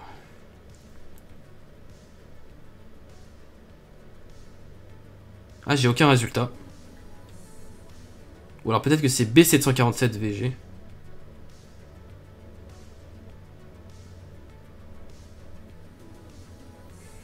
par compagnie aérienne, peut-être que je trouverai plus facilement là.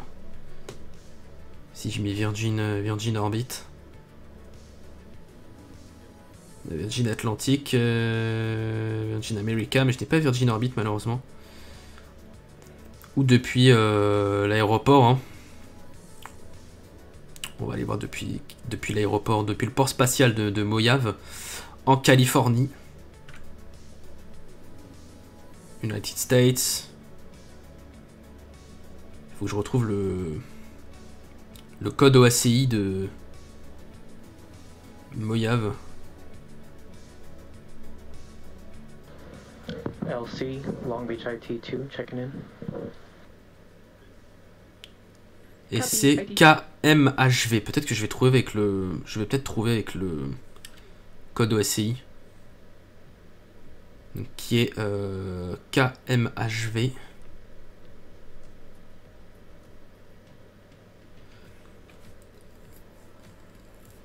N744 VG. Il a pas son transpondeur allumé, ah, c'est pour ça qu'on peut pas le trouver. Fort 107.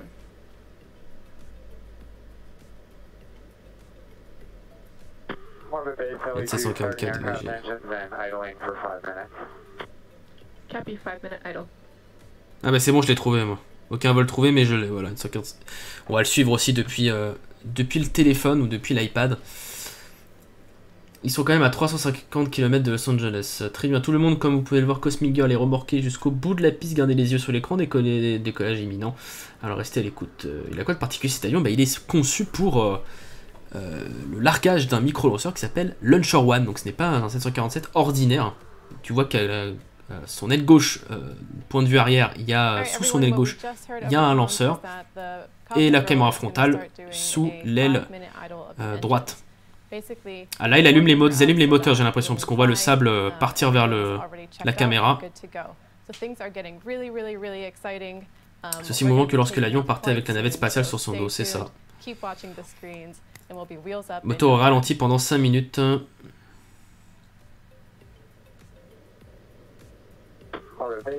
Merci à vous, vous êtes plus de 200 sur live, n'hésitez pas à lâcher votre pouce bleu, ceux qui viennent d'arriver, ça soutient énormément la chaîne, ça nous soutient. C'est notre principale source de soutien, donc n'hésitez pas à le faire. Merci à ceux qui le feront et à vous abonner hein, si c'est pas le cas, pour euh, voir toujours plus d'événements spatiaux de ce type en live et en français. Engine 2, nominal start. Ouais. Engine start, allumage des moteurs.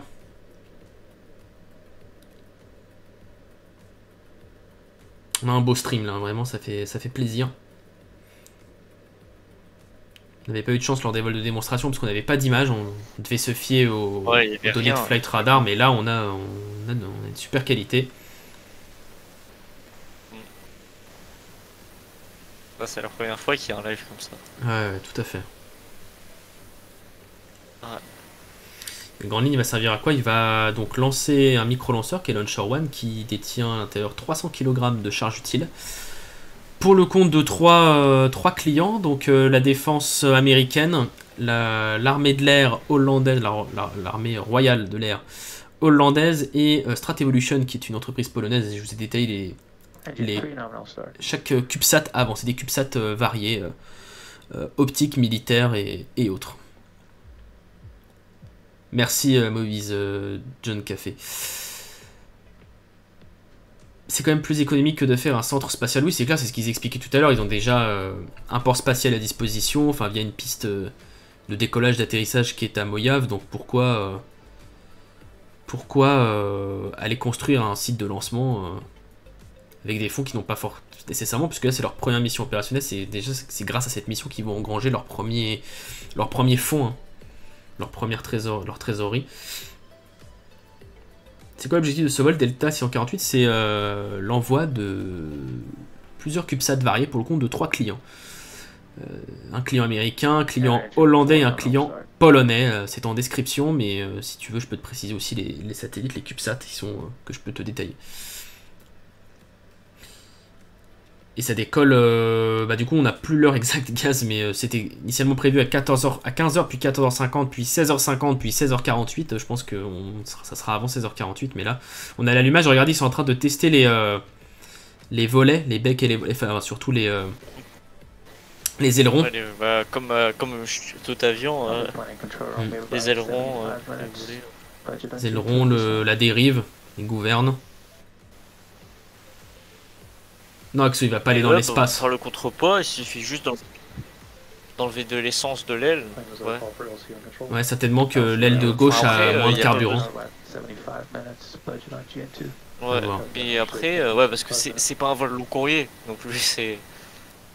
Cet avion il peut tourner pendant, pendant 10 heures sans s'arrêter, euh, plus. Non, mais puis ils ont pas besoin de, de charger beaucoup beaucoup de carburant, ils chargent ce qu'il faut pour cette mission-là et puis après ils reviennent quoi. Parce que ça coûte aussi hein, euh, de mettre du carb de, de charger un avion en carburant, euh, en kérosène.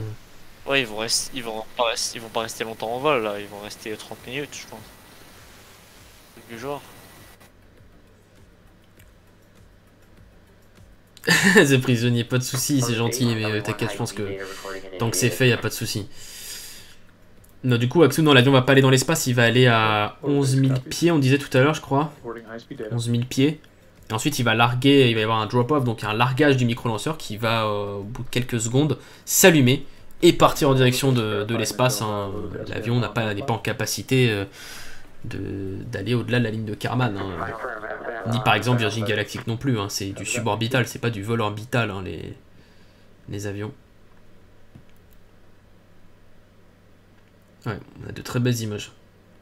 C'est quand le prochain décollage avec la navette? Alors, il n'y a plus de navette spatiale, Clément, euh, en service, mais de quelle navette parles-tu?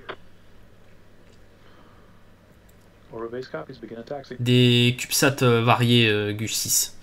Tu as euh, un, tu as 4 CubeSat pour le compte de la défense américaine nommés STP-27 VPA qui vont servir notamment pour euh, les opérations spatiales et de spatiales missiles euh, enfin pour le centre euh, le centre de contrôle de la de l'US Air Force. On a Brick 2 qui est une charge utile pour le compte de l'armée de l'air royale hollandaise qui est le tout premier satellite militaire hollandais et on a Stork 4 et 5 qui sont deux satellites de d'ordre optique ici qui vont euh, servir à, la, une constellation de satellites euh, Stork pour le compte de euh, l'entreprise polonaise Stratevolution. Voilà, Stratevolution. Euh, 11 mm du coup. 35 000 pieds, j'ai eu mal. 36 000 pieds. 11 mm, ouais.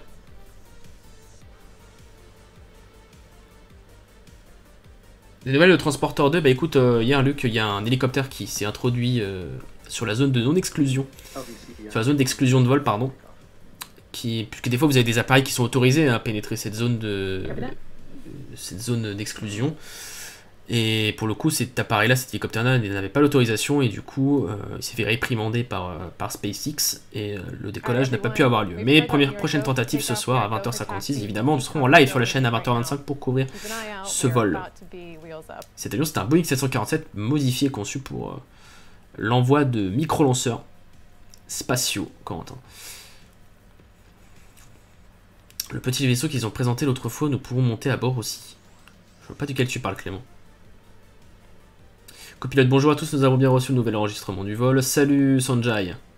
Le décollage se fait depuis euh, le port spatial euh, de Mojave, euh, dans le comté, exactement, je vous redis exactement le bon nom du comté, le comté de Kern en Californie, aux États-Unis, donc sur la côte ouest américaine. Mais c'est quoi une charge utile Une charge utile, c'est une charge qu'on emporte, euh, qu'on transporte, tout simplement. Comme par exemple un camion qui transporte euh, des marchandises, bah, les marchandises conduites dans le camion, c'est de la charge utile. Ou concrètement, ici, les- la charge utile, c'est des CubeSat, donc des satellites très petits, conçus pour entrer dans le dans la petite coiffe de Launcher One. Et là, on voit un petit avion de transport qui est devant le 747 qui fait pas le figure devant lui, qui s'est arrêté.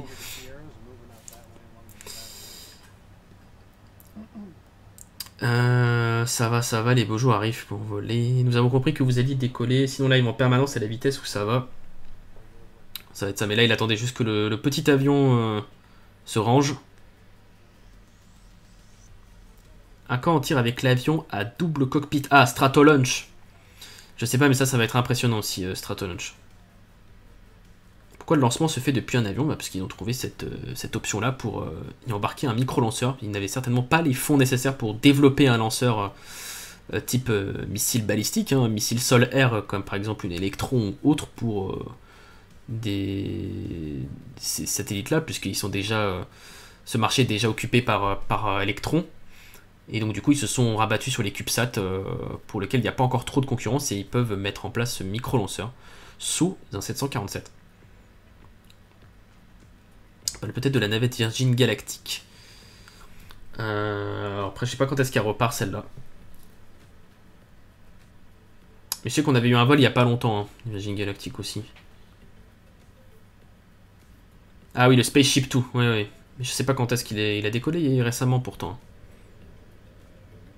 On dirait un PA-18, le petit avion. Un Cessna. Finalement, la Falcon 9 décolle quand ce soir, Ethan, euh, 20h56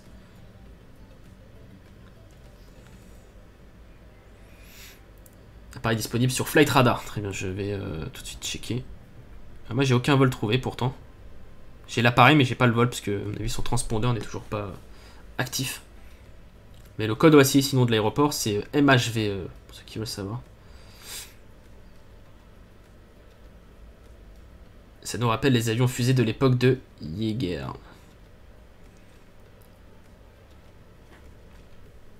Donc là, il est en position pour euh, décoller, je pense. Ah bah ouais, s'il est là, il est au milieu de la piste. donc, Ça va pas tarder. Je vais vous monter ton son, Ellie. euh, non, c'est pas très bien, Bobby, hein. Orbit C'est aussi gros qu'un beluga. ce- Alors, euh, le beluga, il est très haut après, mais euh, c'est à peu près les mêmes proportions. Le C147 et beluga. C'est parti, euh, le décollage va avoir lieu dans très peu de temps. Roulage final. ouais, ouais, il a- On voit que le Boeing accélère. Réutiliser euh, Neil, huitième vol ce soir. Ah non, mais c'est pas une Falcon, hein. Non, non, et ça y est, décollage, take-off, Ah, pardon, on parle de Falcon. take-off du 747 de Virgin Orbit qui est parti pour déployer Launcher One à 11 000 mètres, euh, 10, entre 10 et 11 000 mètres d'altitude, 35 000 pieds. Ça va avoir lieu d'ici, je pense, une trentaine de minutes ouais, d'altitude, tout à fait.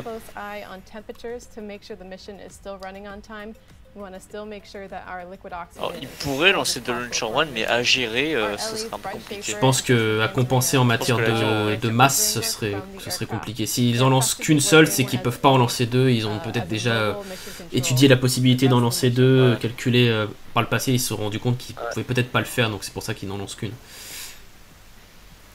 Merci Aïssa, salut à merci toi. à toi, euh, Issa, merci de suivre. N'hésitez pas à lâcher votre pouce bleu et à vous abonner, hein, nous ça nous fait plaisir.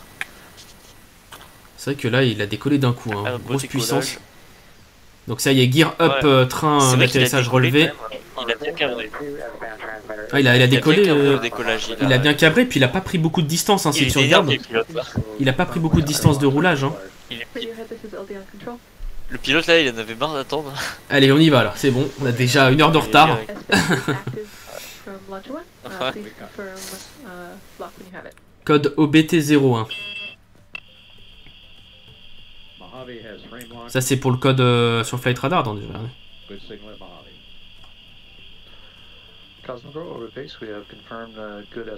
for Mojave. Ah oui, voir sur la carte. C'est bon, on a, on a le vol.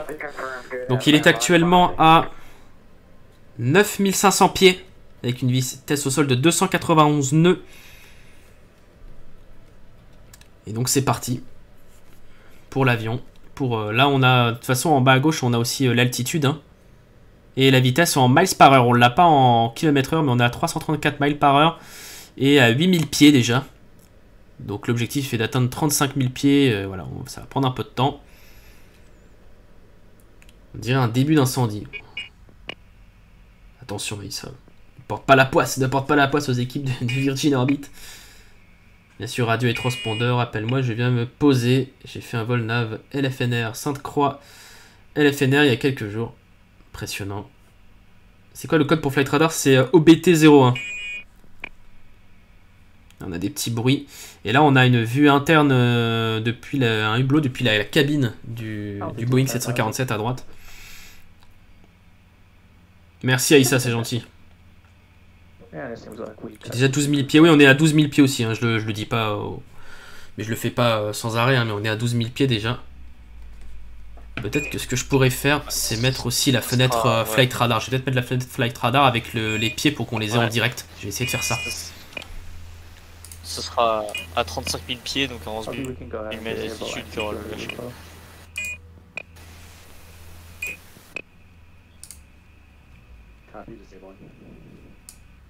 Juste baisser un peu le son parce qu'on a des sons un peu parasites sur leur live. Et là, on voit déjà euh, la longitude, latitude, l'altitude. Bon, on a déjà, on a l'altitude en, mètres. Pour le coup, on l'a pas en, en kilomètres. Donc, ils ont intercepté ma ce que j'allais faire. Ils ont anticipé. Et on est à, on est ici à 3900 mètres d'altitude. Voilà. Je vais vous mettre le chat par contre sur, euh, sur mon iPad parce que je, si, je, si je coupe en deux l'écran, je peux pas voir l'altitude exactement. Au pire, je l'ai, le chat.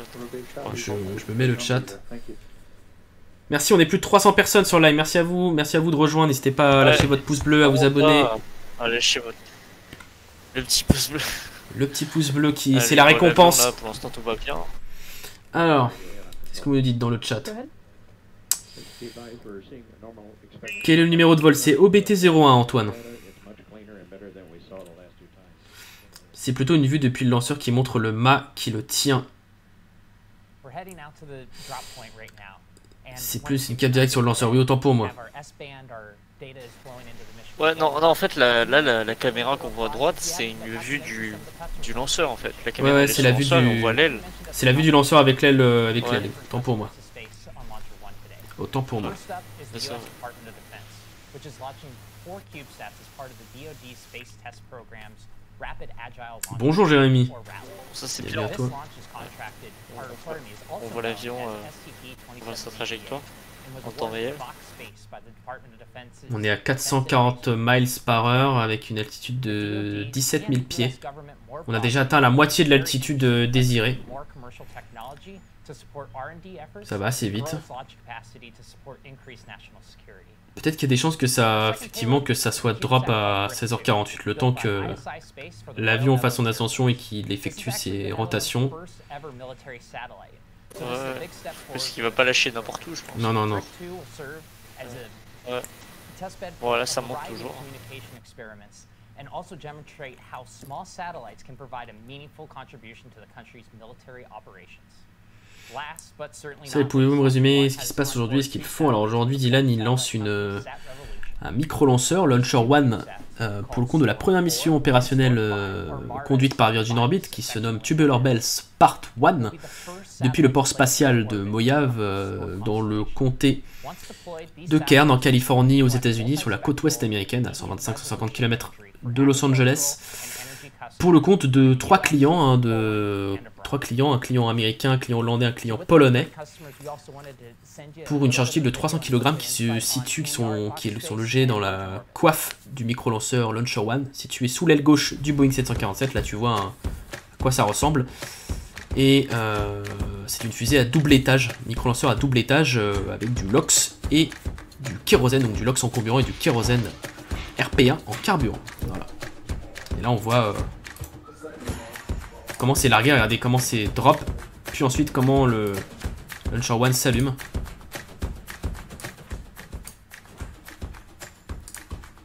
Et là, les usines de fabrication de Launcher One.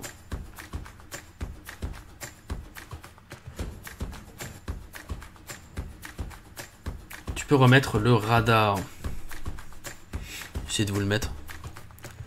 Du coup, il me faut le, il me faut le bon, numéro maintenant. J'essaie de vous le mettre.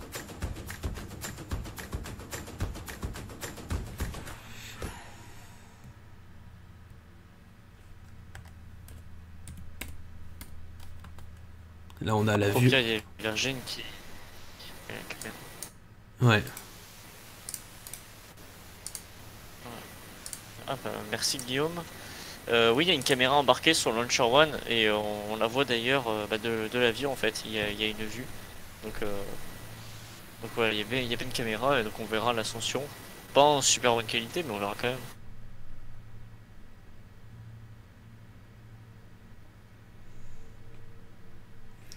Alors, on a à nouveau l'altitude à gauche, hein, ça, ça sert à rien de vraiment la mettre, que, moi je la remette derrière, mais je vois pas trop, on est à 7000, euh, plus de 7000 mètres d'altitude. Euh, en tout cas sur l'appli après Flight Radar, je vais moi me le mettre moi. hein.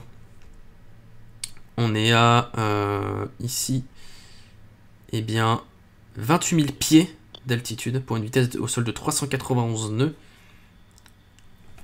Et euh, voilà, je vais mettre juste l'IMAT quand même.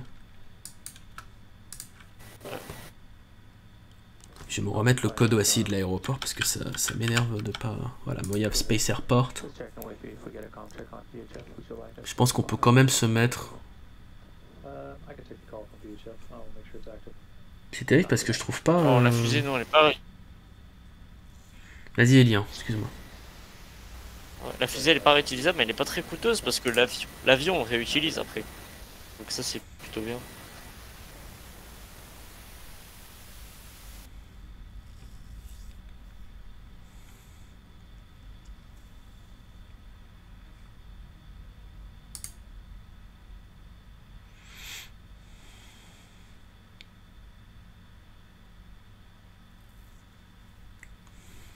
De vous afficher les données de Flight Radar. We've updated the estimate time to 1447 and 0 seconds. Everybody's copy. Alors, si elle est réutilisable, je suis pas sûr qu'elle soit réutilisable, euh, la fusée. Je pense pas. Si Von Braun avait vu ça. Non j'ai ah, déjà répondu. J'ai déjà répondu. Ah non elle est pas réutilisable mais c'est juste l'avion qui est réutilisable mais c'est Oui, déjà oui, tout à fait. Je tiens le compte Space New Horizons et tes stories sont grave stylées. Il y a vraiment que tu m'expliques en MP. Ah, c'est pas moi qui fais les stories, Jérémy, euh, c'est l'un de nos modérateurs. Printwork, je sais pas s'il est sur le, le chat, mais c'est lui, c'est vers lui que tu peux te rabattre à ce sujet, mais c'est, ce n'est pas moi qui fais les stories Instagram. Je fournis toutes les infos et ensuite on a déjà des backgrounds, des overlays dédiés pour chaque thème qu'on traite. D'où le fait qu'elle soit particulièrement sympathique. Euh, mais du coup là j'ai j'ai pas les données en fait sur euh, Flight Radar PC parce que je pense qu'il faut la version euh, payante pour tout avoir et on n'a pas tout. Sur PC parce que sur après sur les applis téléphone tablette c'est plus simple mais sur ordi j'ai rien. Et là on a les paramètres de, du lanceur et on voit que le kérosène et le lock sont toujours full hein, évidemment puisque le lanceur n'a pas été déployé encore. Everybody's copy five. Thank you. Donc euh, ceci explique cela. Stabilisé à 8520 mètres sur Flight Radar. Si là, sinon Jérémy, si tu as Discord, euh, Printworks sur le serveur, tu trouveras et puis tu pourras le MP.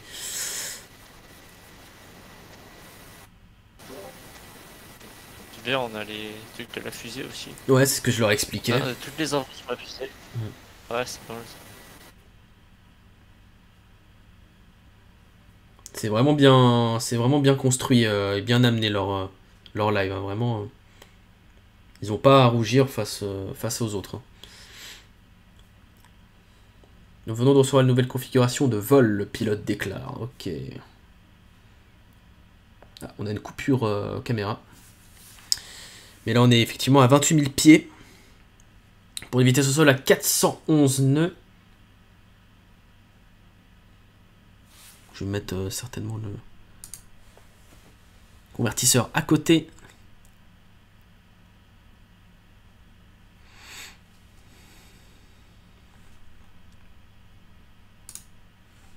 Hop.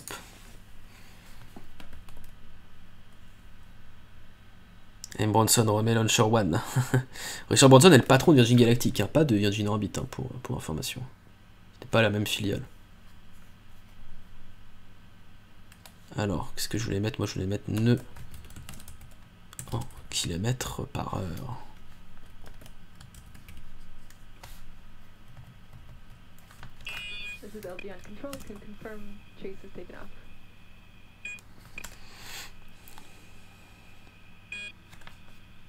On est à 411 nœuds ici, qui correspond à 761 km par heure.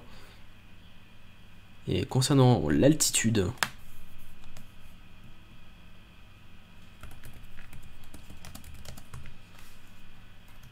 Hop. Nous sommes à «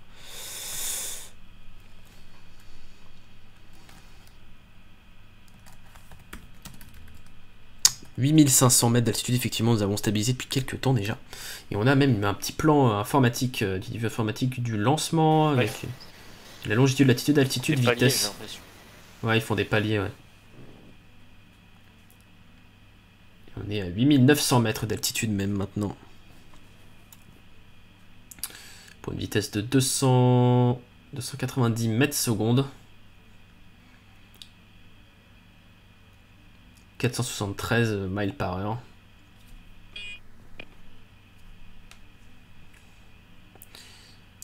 Ça arrive bientôt à largage. Pas encore en chat. Pas encore.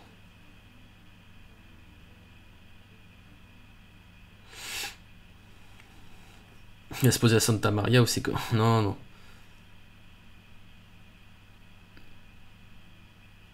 Dommage de pas avoir en vidéo. Non. Non, non, on n'a pas de. On a quelques. On avait une caméra tout à l'heure mais qui a coupé. Oui, looping, c'est aux US, c'est ouais, euh, sur la côte ouest américaine.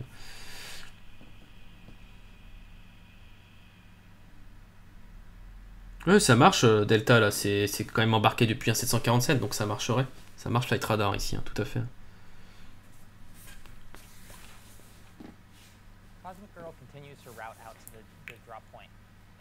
Give you, we gave you an overview, top level overview of some of the customers on today's flight, but we also wanted to bring some of them directly to you. And to join, we have one of our anchor customers for today's mission uh, from the Department of Defense, Defense's Space Test Program, or STP. We have the director, uh, Colonel Car- Colonel Carlos Quinones. Uh, how are you doing this morning, sir? On a l'un des clients euh, de la mission hein, de la- du département de la défense américaine qui est en duplex avec les équipes de. Virgin Orbit. It's uh, it's beautiful morning here. It's a, a lot of excitement. Uh, we, we were just about to see the aircraft take off, and uh, the crowd was pretty excited about seeing the uh, uh, the aircraft moving closer to do our, our first launch. So a pretty ex- a lot of excitement on our side. Are, that, that's excellent to hear. So, can you tell me a little bit more about the DoD's uh, space test program? Absolutely. Uh, so the uh, DoD space program has been around for a long time. Donc à propos du SPT, hein, le, justement le STP, ce que je vous disais, le Space Test Programme dont il parle ici, avec les quatre charges utiles qui leur sont allouées, et atti- qui, leur- qui sont transportées par Virgin Orbit aujourd'hui, les STP 27 VPA. Early uh, technologies, and we demonstrate that those technologies can support a, a operational capability. Colonel Carper qui parle tout à fait. uh, Qui a acheté la place sur Blue Origin, Elon Musk? Non, on a euh, Jeff Bezos, son frère, et un autre client. Pas du tout Elon Musk. hein. And uh, we particularly do uh, four things. We actually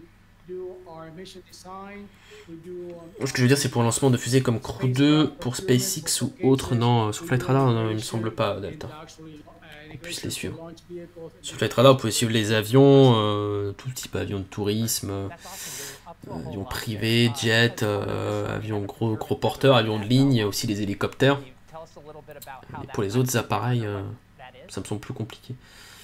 Absolutely. So, uh, and, uh, about, uh, Bah si, vous êtes plus de 300 en tout cas sur le stream, n'hésitez pas à lâcher votre petit like, ça nous aide beaucoup, de vous a- de vous abonner également et d'activer la cloche pour ne rien rater, puisque tout à l'heure nous serons également en live à partir de 20h25 pour le lancement d'une Falcon 9 pour la mission Transporter 2. Donc, N'hésitez pas à, à faire tout cela, Ce sera tout aussi impressionnant. tout aussi, voire euh, plus impressionnant, puisque quand même un décollage direct c'est impressionnant. Et euh, là, euh, Falcon, l'est aussi. Mais là, ça va être sympathique parce que c'est un lancement qu'on a peu l'habitude de voir, donc c'est atypique, insolite, et, et c'est pour ça que ça tout le crédit leur revient aussi qu'on qu'on puisse euh, stream ça, euh, et on a des super images, donc euh, on est très content de vous proposer ça également.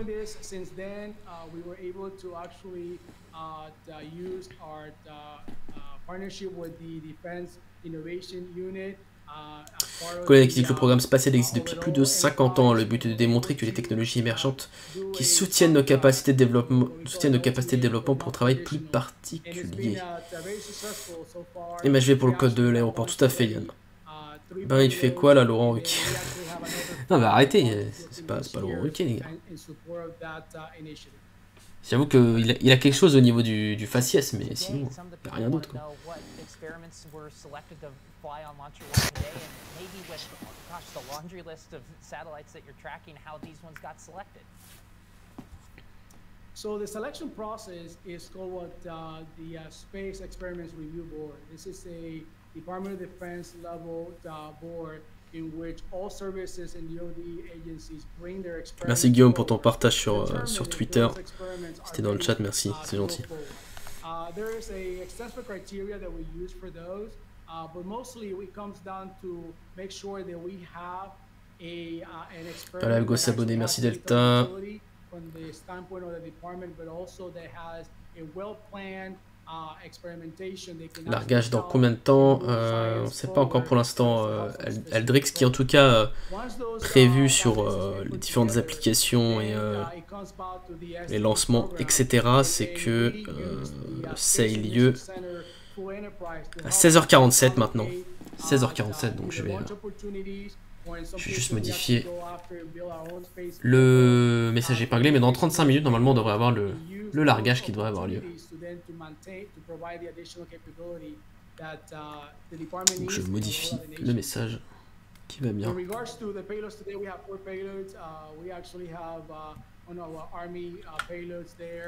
Uh, Plutôt largage parce que décollage, c'était plutôt propre euh, au Boeing. uh, uh, LEO orbit Hop. experimentation, and we are very excited today to be able to provide that initial set of data to the team. Thank you so much for the background on those. Uh, we're excited to get those experiments on orbit for you. Hop. And then I, you have a lot of choices when you fly. Aussi notre Um, opportunité pour les utiles scientifiques et technologiques d'avoir l'accès à l'espace pour nous, l'expérimentation à donner des données et aide les futurs programmes. Tout à fait, euh, chat. Le Spaceship 2.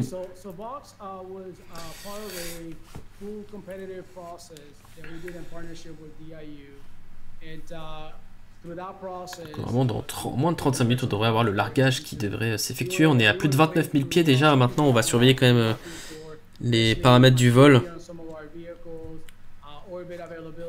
Puisqu'on est à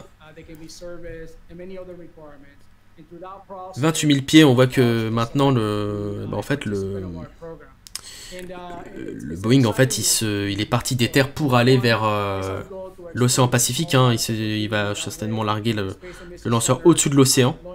Ait de, ait de soucis. Et euh, le largage aurait effectivement lieu au-dessus d'une des îles du Pacifique hein, que j'avais décrite au, au début. On est à, à 29 000 pieds pour une vitesse de 488 miles par heure, soit 424 nœuds, ce qui correspond euh, en, en kilomètres heure. Ça nous, ça nous fait du 785 km/h vitesse au sol. Ici.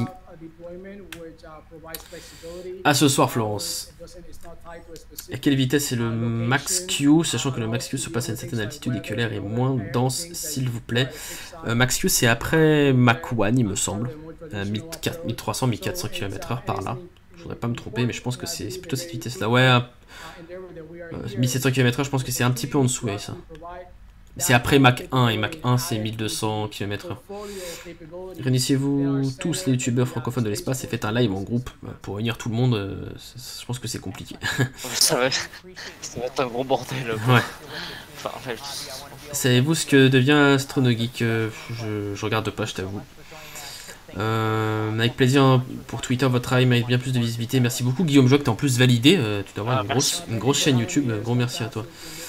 Euh, Stéphane, tu rêves, certains youtubeurs voudront pas. Oui, et puis il y a des conflits d'intérêts entre certains youtubeurs, donc c'est- c'est mort. hein. c'est un rêve, malheureusement, qui ne deviendra pas réalité pour beaucoup. Bon.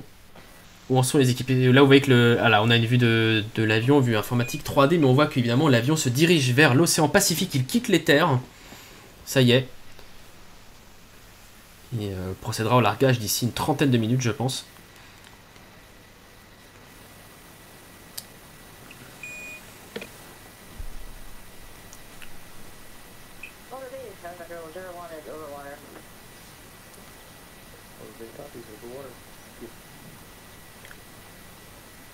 Avez-vous des nouvelles de. euh, Bah écoute, Aïssa, non, je sais pas. Je sais pas du tout.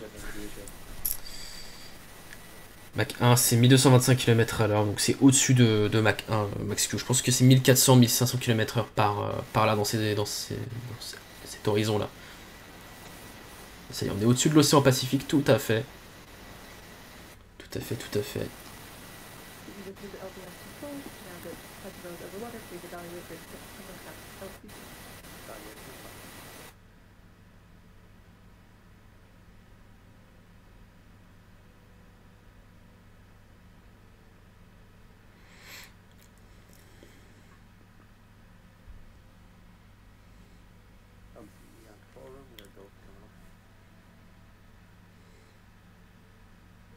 proceed.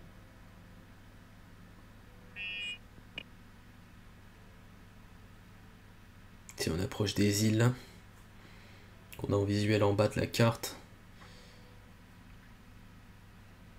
Ouais.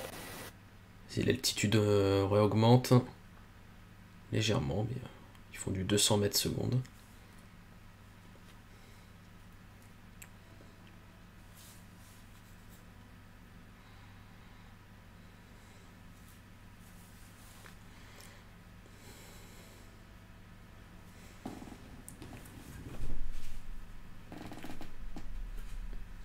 Disabling C480.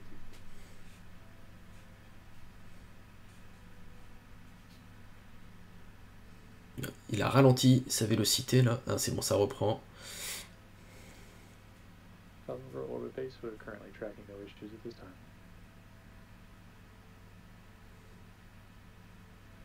Ah, je comprends pas ce qui se passe, Lioline. Écoute, c'est un lancement particulier puisque c'est une un micro-lanceur Launcher One, nommé Launcher One, qui va effectuer aujourd'hui sa première mission commerciale opérationnelle, hein, la mission Tubular Bells Part 1 pour le compte de trois clients, un client américain, département de la défense américaine qu'on a eu l'occasion de voir juste avant via le, le colonel qui le représentait, l'armée de l'air hollandaise et une entreprise polonaise Stratevolution et Strat Evolution, donc, euh, ce micro-lanceur Launcher One qui se situe sous l'une des ailes euh, du Boeing 747 hein, de Virgin Orbit, spécialement conçu pour, qui doit être largué à 35 000 pieds, donc 10 000, 11 000 mètres d'altitude.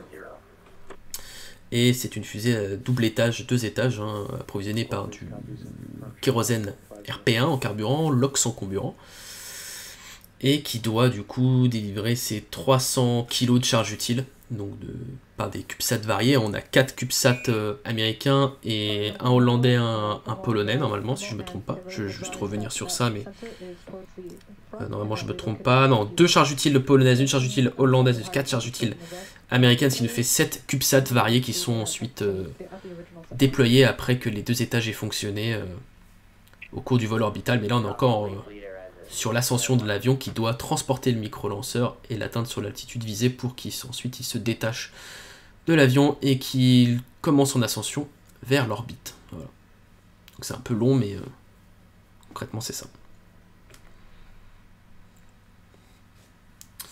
Pilote, il dit je désactive le Z483. Flight Aware, c'est mieux. Bon, bah, après, de toute façon, là, on a, on a les données du vol Ah, c'est- déjà. Bon là de toute façon. Ouais, on est à 9600 mètres d'altitude. 30 000 pieds.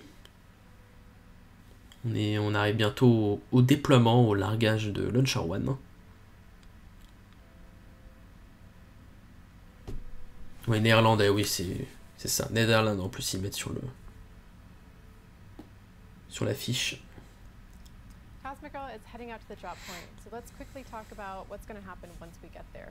We have a graphic to show you all. Alright, so if you're looking at this graphic, Voilà comment ça va se dérouler. Left to right. The first thing you'll hear right as drop happens is Kelly saying Je pense qu'en bas, c'est la courbe du temps et en haut, la courbe euh, en kilomètres d'altitude. Donc au début, on va avoir l'allumage euh, du moteur du premier étage qui va avoir lieu. Ensuite, euh, un peu moins de 200 avant T plus 200 secondes, donc euh, c'est-à-dire euh, euh, à peu près 2-3 minutes, enfin même plus de 3 minutes de vol, on va avoir euh, la séparation de l'étage, du premier étage, euh, même avant. hein. Euh, ensuite la coupure juste avant, enfin la coupure juste avant qui intervient, la séparation, et ensuite euh, le l'allumage du second étage qui intervient. Après on a la séparation de la coiffe de l'étage supérieur. Ensuite un peu avant 500 T plus 520 secondes, on a euh, la coupure du second étage, donc Sico One. Ensuite on va avoir euh, une manœuvre de retournement, de basculement qui va intervenir. Ensuite à T plus 2000 secondes, on va avoir l'orientation du véhicule pour que le deuxième étage se rallume, donc euh, Start 2, qui se rallume ensuite à T plus 2500 secondes, qui se coupe juste derrière, pour, euh, donc certainement pour circulariser l'orbite. Et ensuite on a le déploiement euh, de la charge utile, et après euh, c'est la fin de la mission du deuxième étage de Launcher One. Tu disais, Ellie SES2, the second burn of our second stage Non, je répondais juste à Philippe, je disais que qu'il y aura des images. Pas beaucoup, mais il y en aura quand même. Ouais. On va avoir quelques-unes. Il y a plus de 9100 mètres d'altitude, on est à 30 000 pieds là, moi je suis toujours calibré à 30 000 pieds pour l'instant et 419, ki- 419 nœuds de vitesse au sol, on a un petit peu ralenti la, la vitesse. We are so looking forward to this happening soon.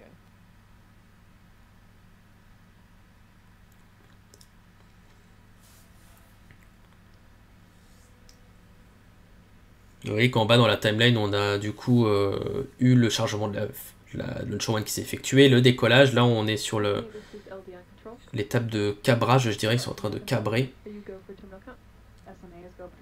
Et après, la prochaine étape sera l'atterrissage. Évidemment, du, de Cosmic Gull, hein, du Boeing 747. Mais ensuite, on va voir toutes les étapes qui vont intervenir pour Launcher One. Donc, le lâcher, euh, l'allumage du premier étage, la coupure du premier étage, la séparation du premier étage, l'allumage du second étage, la séparation de la coiffe, euh, l'extinction du deuxième étage, le rallumage du deuxième étage. Là, si, vous, si on camoufle ma cam ici,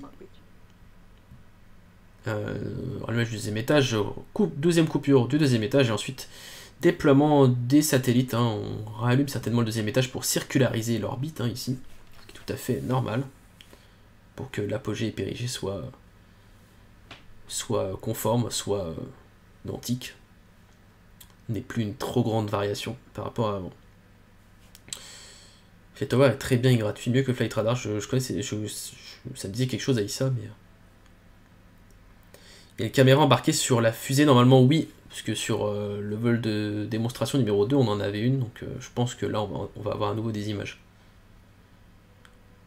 Là, on a des cercles en bas au niveau de l'océan, je sais pas à quoi ils correspondent ces cercles. Est-ce que c'est la zone dans laquelle ils peuvent euh, larguer? Je sais pas. Certainement. Ça y ressemble peut-être. Hein. C'est peut-être la zone, ouais, euh, ce passage. ouais. C'est peut-être la zone de non-exclusion Eh euh, oui, maritime. D'exclusion maritime plutôt. Peut-être.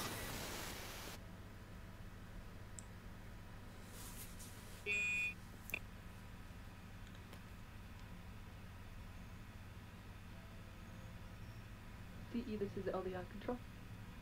Go ahead, LB. Confirming you're still go for terminal count. Affirm, still go. Copy that. Elise, this is LD on plane Honeywell. MCC is go for terminal count. Je regarderai ça. Et on augmente l'altitude, là, ça y est, elle remonte. On a plus de 30 000 pieds. On est à 9600 mètres bientôt. Ça rebaisse du côté de la télémétrie de Virgin, mais pourtant. euh, Ah oui, là ça rebaisse aussi. Ça rebaisse aussi euh, chez Flight Radar. 30 000, un peu. On va, on va passer en dessous de. On, on se maintient à 30 000, mais tout juste au-dessus de 30 000 pieds. hein.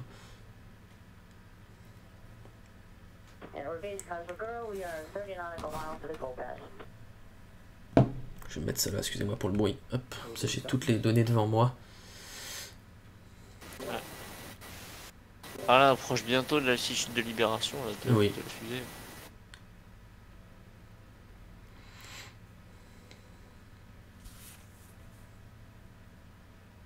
C'est dommage qu'on n'ait pas d'autres caméras comme tout à l'heure, on avait la caméra embarquée du, de Launcher One. Contrôleur qui dit SMA est devenu PK, pilote, nous effectuons la séquence 79. Très bien, merci Mac.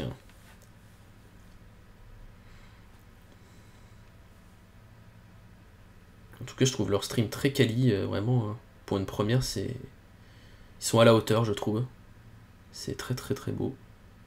Ah ouais, c'est super bien. Tout est détaillé. euh, on a l'ensemble des opérations qui sont détaillées. C'est vraiment, euh, vraiment parfait. hein. 320 visionnages encore. N'hésitez pas à partager, n'hésitez pas à liker. C'est important pour le développement de la chaîne. Aider ceux qui nous font ce petit bonheur. Merci beaucoup, ça c'est gentil. C'est très gentil. Merci pour ton soutien, c'est adorable, vraiment. On est plus de 330, hein, comme elle dit. N'hésitez pas à lâcher votre petit like, ça nous soutient beaucoup, à vous abonner, activer la cloche. Puisqu'il y a d'autres lives qui vont arriver. hein. Ce soir, on a euh, le décollage d'une Falcon 9 de SpaceX pour la mission Transporter 2, deuxième covoiturage spatial dans le cadre Ouais, du programme. Rideshare. Et 88 satellites qui vont être envoyés. Et demain, on aura un autre live que je je suis pas parvenu à planifier, mais euh, demain 14h30, autre live, mission OneWeb 8, huitième mission OneWeb euh, menée par euh, conjointement par OneWeb, Soyuz et, OneWeb, Roscosmos et Starsem. Donc Voilà, on a encore deux lives de planifier entre aujourd'hui et demain. Après, ça va se calmer un petit peu, mais d'autres lives seront prévus, vous inquiétez pas, tout est planifié en avance sur la chaîne. Voilà, nous couvrons l'ensemble des événements spatiaux dans la mesure du possible, bien évidemment. La mesure de possible. Quand c'est à 4h du mat, c'est un petit peu plus compliqué. Bah, comme cette nuit, il y a eu un lancement de, il y a eu le lancement de Progress MS17 qui a eu lieu Ouais, avant ouais, 2h du matin, mais je. C'est un peu tard. ouais. Voilà, c'est tard. euh. Je ne voyais pas le stream. Et là, on a une zone qui. La zone s'agrandit. Peut-être que c'est là la zone de libération qu'on voit plus bas, avec une, tr- une euh, courbe rouge, une courbe jaune. Ouais, sûrement. On the base LA2, we are now on 790 up from 300. Will base copies on step 90, thank you. Pilote qui dit nous sommes en dessous de l'altitude prévue dans le plan de vol. Et oui, c'est bien ce que je voyais aussi. On est toujours maintenu à 30 000 pieds, mais il faudrait qu'il monte un peu quand même. Et je pense que la courbe rouge correspond à leur, euh, au plan de vol. Enfin, normalement, ils doivent monter maintenant là, à partir de là. Salut Nat. Salut, merci. Une caméra embarquée normalement, oui, Aïssa. C'est bon, on voit la zone de lancement. VO, nous, nous vous envoyons les nouvelles informations de vol. Je dois vous laisser, malheureusement, bon live à tous à demain. Salut Ilan, on est aussi là ce soir. hein. N'oublie pas. Bonne, euh, bonne fin d'après-midi.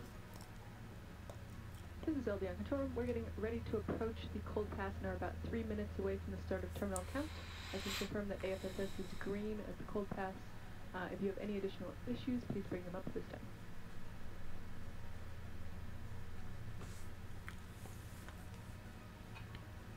On est même en dessous de 30 000 pieds, l'altitude diminue encore.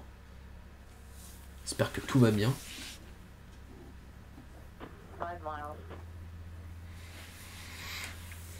Il se passe quoi, Nils? Eh oui, écoute, euh, on assiste au, normalement au largage qui doit être prévu d'ici quelques minutes de Launcher One, micro-lanceur embarqué depuis le Boeing 747 de l'entreprise Virgin Orbit, spécialement conçu, fabriqué pour. Launcher One se trouve, est un micro-lanceur qui se trouve en dessous de l'aile gauche de l'appareil. Et elle doit être larguée euh, d'ici une quinzaine de minutes, peut-être un peu moins, euh, au large euh, de, la côte ouest américaine, les, au-dessus des îles du Pacifique, là, puisqu'il décolle du port spatial de Moya, cet avion.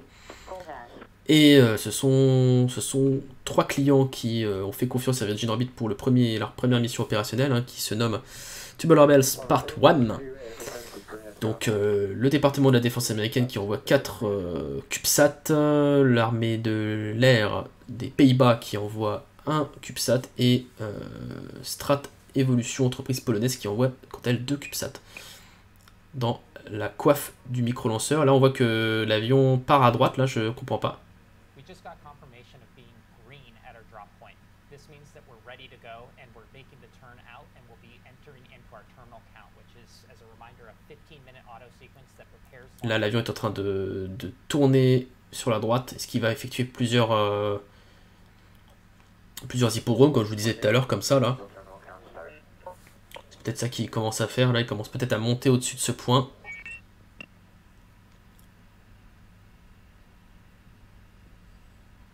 Ça marche, Ilan, pas de souci. Salut Samy, ça va et toi Euh, C'est tout l'autre terme. Nous nous préparons à approcher le froid Kastner à environ 3 minutes du début du décompte. Terminal. Je peux confirmer qu'un FSS est vert car le passage à froid, si vous avez des problèmes supplémentaires, veuillez le soulever, les soulever cette fois. Pilote 5 miles. Ok, copie. Euh, pilote qui nous allons tout faire pour arriver à l'altitude prévue.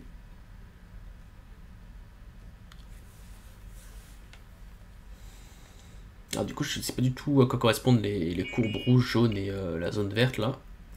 Et peut-être que la zone, euh, la zone où il y a tous les cercles, c'est les zones où ils doivent effectuer les, les fameux, le fameux hippodrome. 30 seconds till terminal count start. On est encore à 9617 mètres, à 29 975 pieds, on est encore bas par rapport à l'altitude de, de largage qui est à 35 000 pieds, pour rappel, euh, 31 500 pieds depuis de, de la part de Virgin Orbit, on a un petit delta entre Virgin et les données de Flight Radar. 10 seconds. 1 égale euh, 1,852 km. 3, 2, Ah, 1. Terminal count auto sequence initiated. Ah ça y est, ils ont maintenant 15 minutes pour euh, larguer le Launcher One. On a un décompte à gauche. Donc ça va avoir lieu à 16h47. On était tout bon.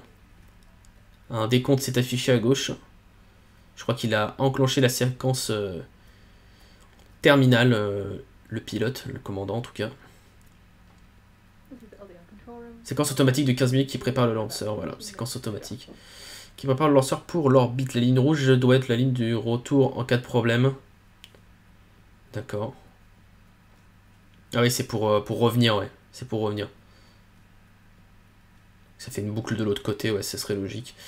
As we just heard from the control room, we've entered into our terminal count Flight a fait un virage à 180, c'est ça. Fait là, il, il emprunte une route qui, est parallèle à, la précédente, hein, un trajet qui est parallèle au précédent. The LD has also confirmed that we're 15 minutes out to drop.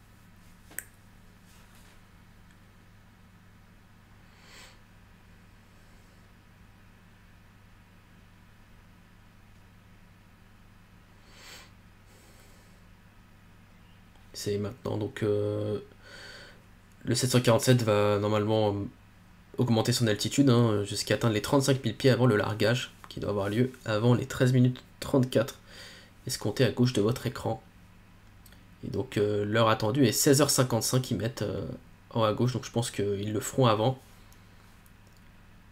Ils vont larguer Launcher One avant. Pourtant c'est lui qui m'a fait découvrir ta... Ah ouais d'accord. Qui ça, euh, Séquence terminale engagée, nous sommes dans les 15 minutes du lancement, c'est ce que j'ai dit. Il est en hippodrome de sur, c'est le principe du hold. Où va être l'arrière Jérôme Alors attention avec des majuscules space. Mais du coup au-dessus de l'océan Pacifique, là, au-dessus des îles euh, du Pacifique. Sur la côte ouest large de la côte est américaine. euh, pas loin de tout, Santa Barbara, Santa Maria, euh, la Californie, quoi. Simplement à l'ouest de la Californie. Il va driver à droite, d'accord.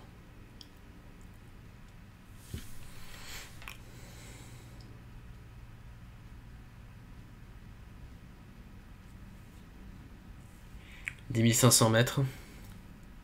On n'y est pas encore. On à 9600 là.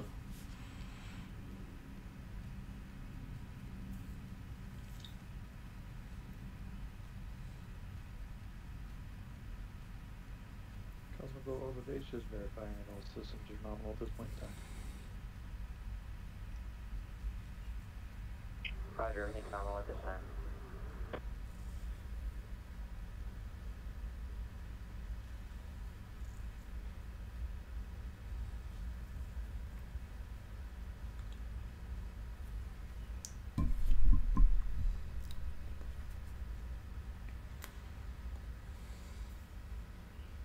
Ouais, Mac traduit tout. C'est notre traducteur maintenant euh, en chef. Là, on voit une belle route parallèle qui est empruntée ici. Je pense qu'il va monter hein, sur plusieurs, euh, pardon, avec euh, l'hippodrome, il va monter comme ça sur plusieurs, il va faire plusieurs rotations du même type qu'on vient d'apercevoir là. Puis il a dit nous vérifions que tous les paramètres sont nominaux à ce stade.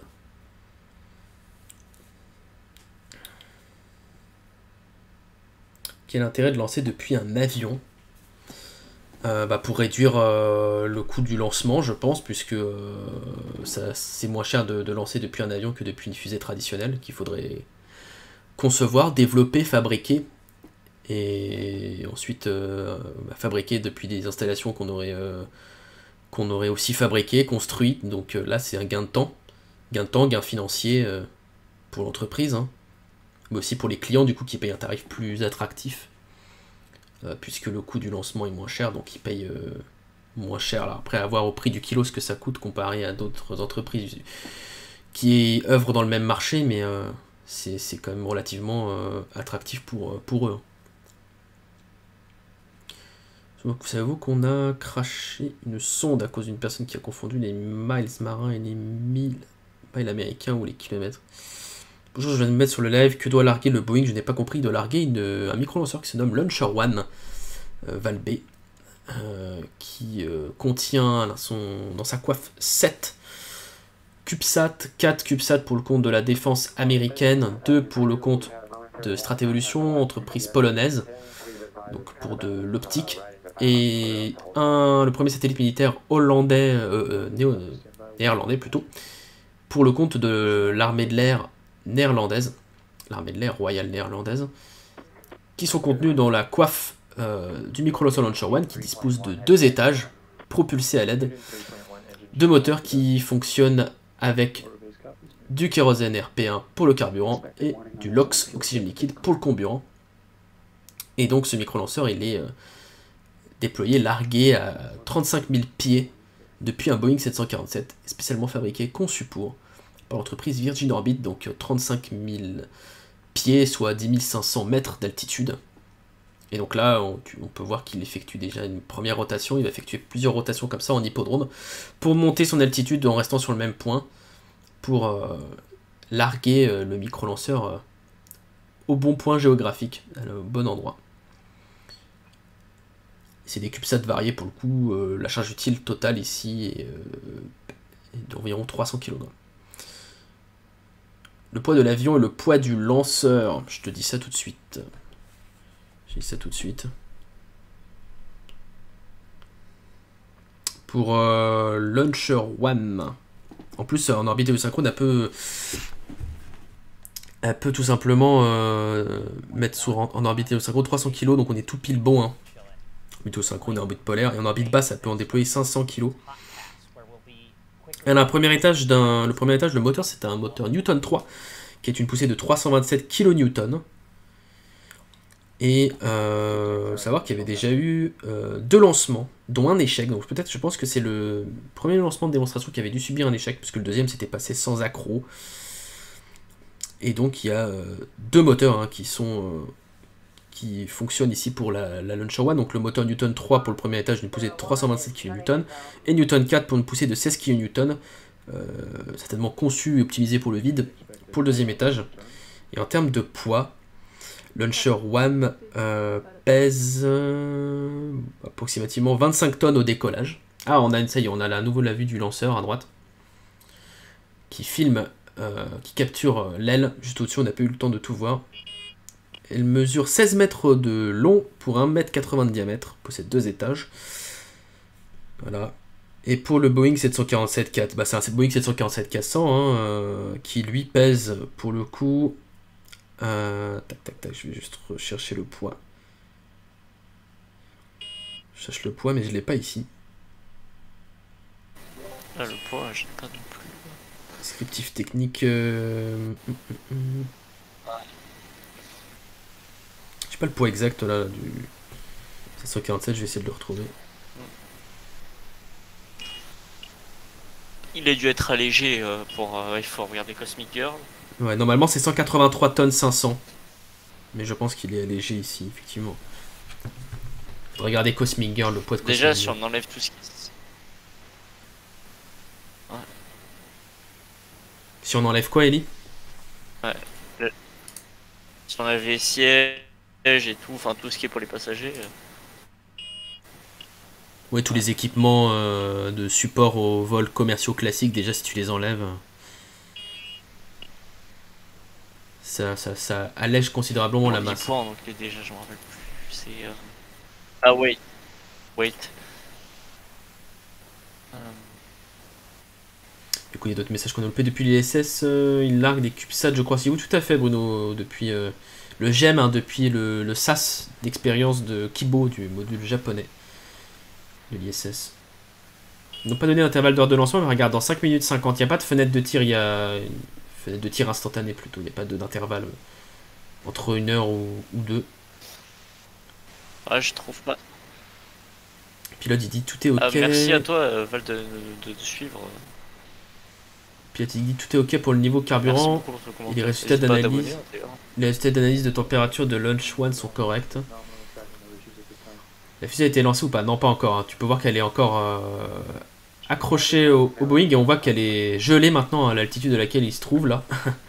La température est négative hein, à cette altitude. Donc c'est gelé sur le pourtour du, du lanceur. C'est ça que signifie la zone de lancement, je crois. Je pense aussi. Mais c'est surtout là où ils effectuent les hippodromes. Ça y est, ils sont, Ils ont presque fait un tour complet, bientôt ils vont faire un tour complet. On a la vue de l'intérieur du lanceur, dommage ça n'a pas duré très longtemps. Evoque dit le moteur du premier étage commence à refroidir, l'avion continuera son inclinaison, puis commencera à entrer dans sa phase, sa passe, sa phase chaude, passe chaude, où il passera rapidement au pilote. Il entrera dans la manœuvre de traction comme deux réservoirs déjà de pression initiale. Nous arrivons bientôt au terme du lancement. Oui, pas de soucis de toute façon, tu as le temps, mais regarde bien, tu verras que Flight Tower est bien. Merci pour l'explication, je trouve super Walex, super instructif. Merci Val, comme disait Ellie. Merci à toi, c'est gentil. C'est pas liker, à t'abonner, c'est toujours pas le cas. C'est super instructif. Si je trouve que l'ambiance est très bonne, enfant et familiale, c'est ce qu'on veut, hein, nous donner, retranscrire sur la chaîne. hein. 183 tonnes, bah, c'est ce que j'avais trouvé, c'est de voilà, 183 tonnes ça, 500, mais, euh, je pense, on pense avec Ellie qu'il a été allégé ici. hein. C'est pas un Boeing ordinaire qui transporte des passagers, Ouais. mais Et il était, était bien allégé. Ouais. plaisir désolé de faire un petit peu le lèche bot on va dire mais je trouve vraiment votre euh, chaîne formidable. Alors je dis pas ça souvent. Je dis pas ce que je, je dis ce que je ressens. Ah, c'est gentil Dan, au moins tu, tu es honnête. Euh, c'est cool de vous suivre. Je serai là ce soir aussi. Merci beaucoup euh, Thilo. Merci. Euh, merci pour ces infos. Micro lanceur belle machine quand même. Ah oui non mais sacrée machine hein. On vous prépare quelque chose à ce sujet.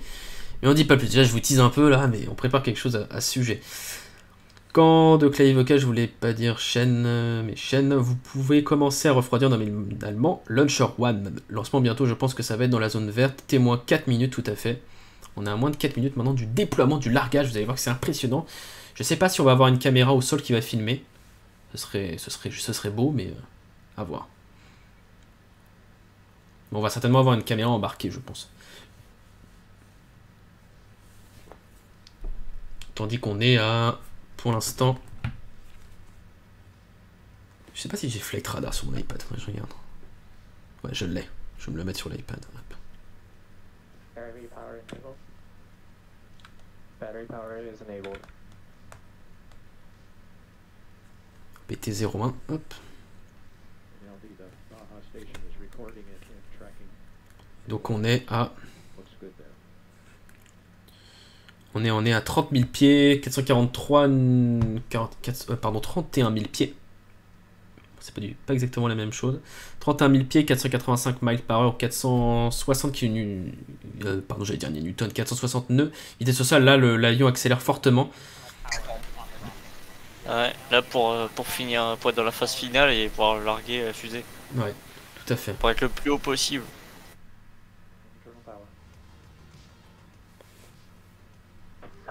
Et on est sur prendre un peu plus de vitesse aussi. Ouais. Aircraft S10 and AFS confirmed go.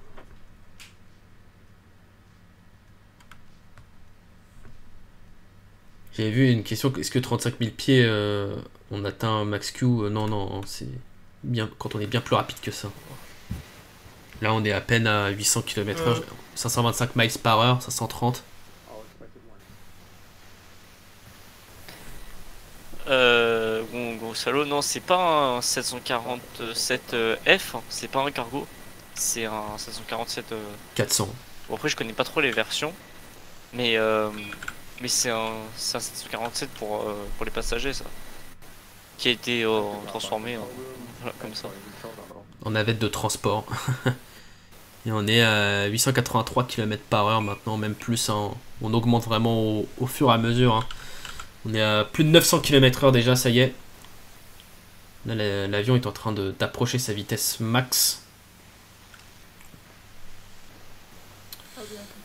Lancement déjà fait. Non, pas encore. Quel nom du vol? Le nom du vol, c'est. euh, La mission en tout cas, c'est Tubular Bells Part 1. Le Boeing 747-400, il se nomme Cosmic Girl et euh, le lanceur Launcher One. Nous sommes prêts au largage de Launcher One, nous passons au programme S-Pen. L'alimentation RV est activée, ce sera la station de Bahia qui enregistrera et suivra le signal de Long Beach. Tout semble bon là-bas, oui, puisqu'il y a 5 stations qui suivent qui couvrent le, signal, je vous rappelle, de, de télémétrie.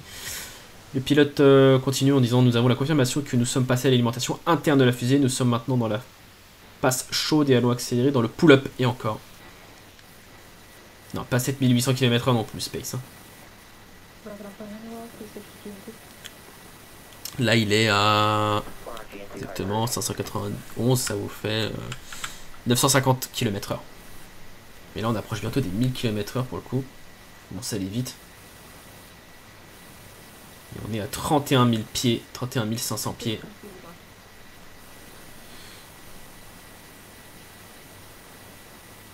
Prendre le point d'un 747 409 qui non pas 409 parce que du coup tu disais Ellie. Je pense que l'avion a un problème comment ça? Pense pas. Puis tous les systèmes de fusée ont l'air normaux, tout va bien. On est à... Normalement le largage est prêt, on doit lancer drop ready. Est-ce que c'est le cas? Est-ce que le largage a eu lieu?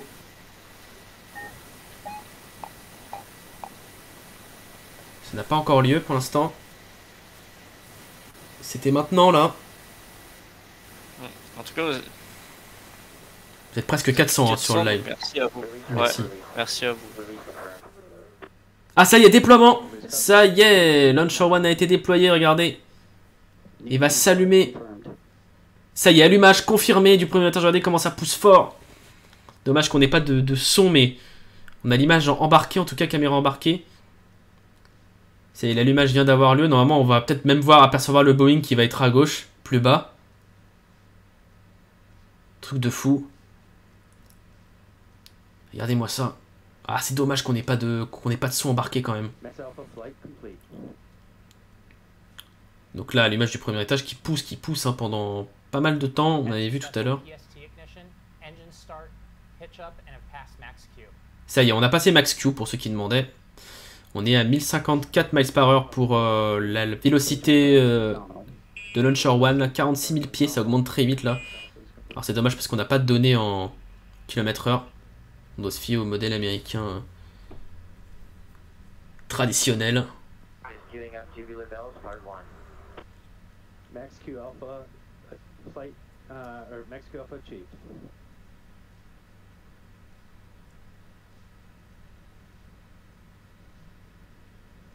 Et à la minute près, c'est parti, c'est parti un petit un cheveu en retard, mais c'est parti quand même.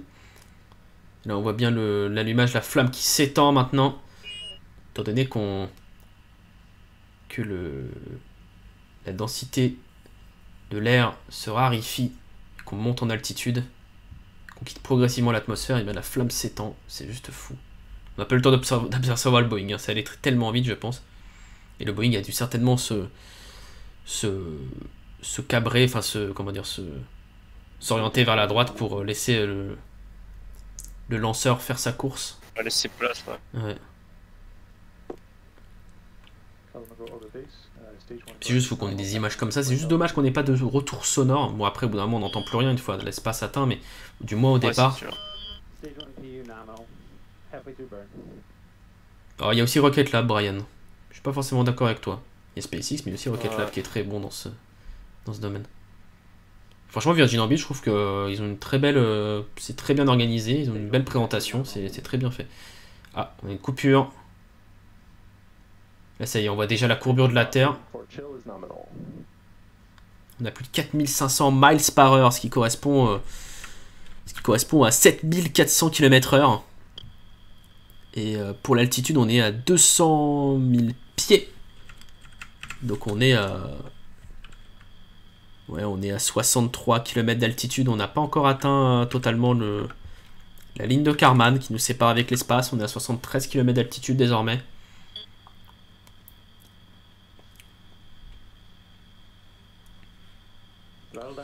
Spectacle au rendez-vous. On descend d'altitude de 120 000 pieds. Ah, sur l'aile de l'avion pour filmer le largage. Ouais, ça serait, ça serait joli aussi. On a vu le Boeing sur l'image, tu regarderas le replay. Ah, faudra me dire. Ah, ça y est, euh, séparation, coupure et séparation du premier étage de Launcher One. Ça va assez vite quand même.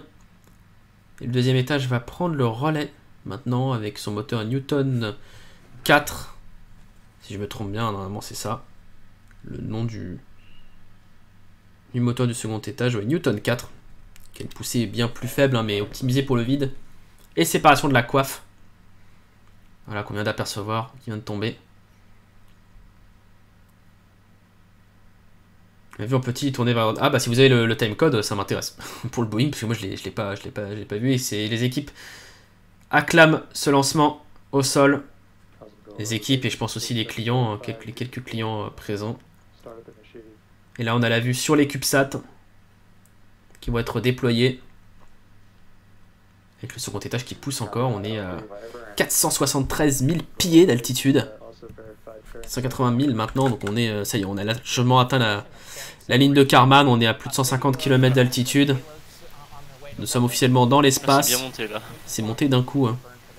La vue elle est sympa. même si- Même si on a vu plus joli, mais euh, c'est cool d'avoir une image comme ça. hein.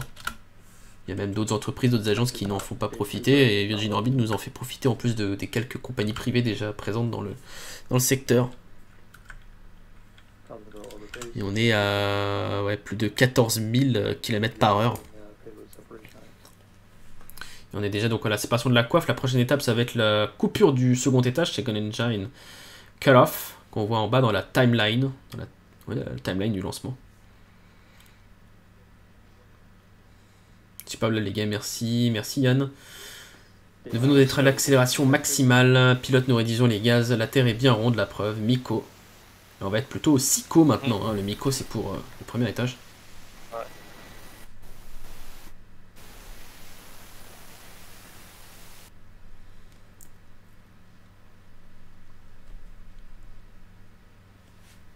Cosmic over base, LE1 is going to swap out with LE2. LC2.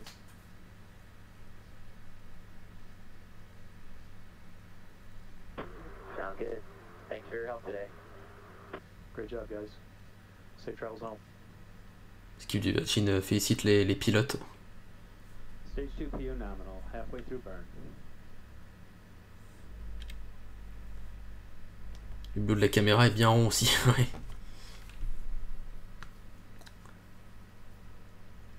Voilà, glace, le dépôt de glace qu'il y a. Avec déjà d'une les ergols qui, évidemment, le- qui s'évacuent un petit peu. On voit quelques évacuations d'ergols euh, cryogénisées, vraiment très très froid, gelé. Et puis en plus, la température extérieure qui n'arrange rien. Les poids blancs qu'on voit passer, c'est euh, du dépôt, je pense, du fait qu'il y a un petit peu de d'ergols qui s'évacuent et qui se congèlent. hein. C'est ce qu'on aperçoit aussi sur les seconds étages de Falcon euh, 9, hein, quand on Falcon Heavy, enfin de lancement de Falcon, quand on a des longues missions aussi. Vous allez le voir ce soir. On aura l'opportunité de le voir de manière plus claire, plus détaillée. C'est du dépôt, euh, enfin de l'évacuation. euh, c'est au fait que ça se. bah, les, réservoirs se, vident, hein, se purgent aussi. Hein. Launcher 1 a une température nominale. L'étape 2, la trajectoire nominale. Vous avez vu, on a déjà aperçu un petit peu l'avion lors du drop. C'était subtil. Moi, je l'ai pas, je l'ai pas bien vu. Il faudrait qu'on me donne le timecode si possible. Les, personnes qui me mettront en commentaire après, post-live, ça pourrait être sympa. Ah oui, en fait, on voit les. Ça y est, on voit à quoi ça correspond. Les, les différentes courbes. La courbe rouge, courbe bleue, je pense que c'est les courbes du premier et deuxième étage. Là, Ils nous ont mis plein de cartes différentes, dis donc là. Intéressant. On a une carte, on a un planisphère, ce qui serait plutôt intéressant, ce serait d'avoir une, une, euh, un globe. Et on voit qu'elle est partie vers le sud, euh, cette fusée, qu'elle remonte maintenant. Et ça fait une orbite qui part euh, vers le sud, qui remonte. Orbite héliosynchrone. Franchement, encore une fois, une manipulation des gouvernements afin de nous montrer que la Terre est ronde, afin... alors que c'est le contraire. Quand on pense que c'est grâce à nos impôts, ça laisse penser. Nous sommes à mi-chemin de la mise en orbite. Ouais.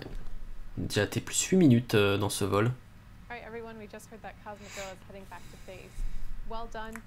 flight vous voyez que ça remonte hein, vers le pôle, hein, justement. euh, Um, la trajectoire, donc, euh, voilà, orbite polaire, orbite héliosynchrone. Heard that everything is nominal.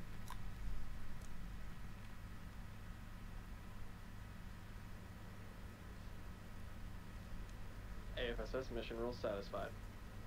Une minute du, du ok. Donc la coupure du deuxième étage.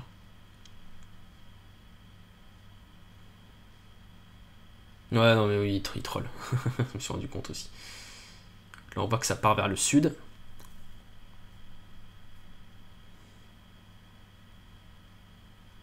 Là, on voit la, la vitesse à laquelle ça va. C'est dommage, ils mettent vraiment en tout petit euh, les données euh, à droite là. Là, on voit que, on voit que le Launcher One effectue une rotation sur elle-même, comme on avait vu dans le plan de vol, ce qui était prévu. Et que ça y est, le deuxième étage s'est coupé. Là, voit une- ça fait une belle rotation. On a un beau plan, beau beau point de vue sur la Terre. On est à 750 000 pieds d'altitude, ce qui euh, bah, représente euh, malgré tout euh, 228 km d'altitude. hein. On est déjà presque à une, altitude orbitale là, pour une vitesse de 17 000 miles par heure, ce qui correspond à bah, 27 000 km/h. On a atteint bientôt la, on a atteint la vitesse orbitale, mais l'orbite n'est pas tout à fait circularisée. C'est pour ça qu'ils vont rallumer le second étage pour la circulariser, pour euh, qu'elle soit plus propre, parce que là on a un apogée et périgée qui sont clairement définissables. Mais là on va les, on va les égaliser au mieux ces deux, ces deux paramètres que sont l'apogée et périgée.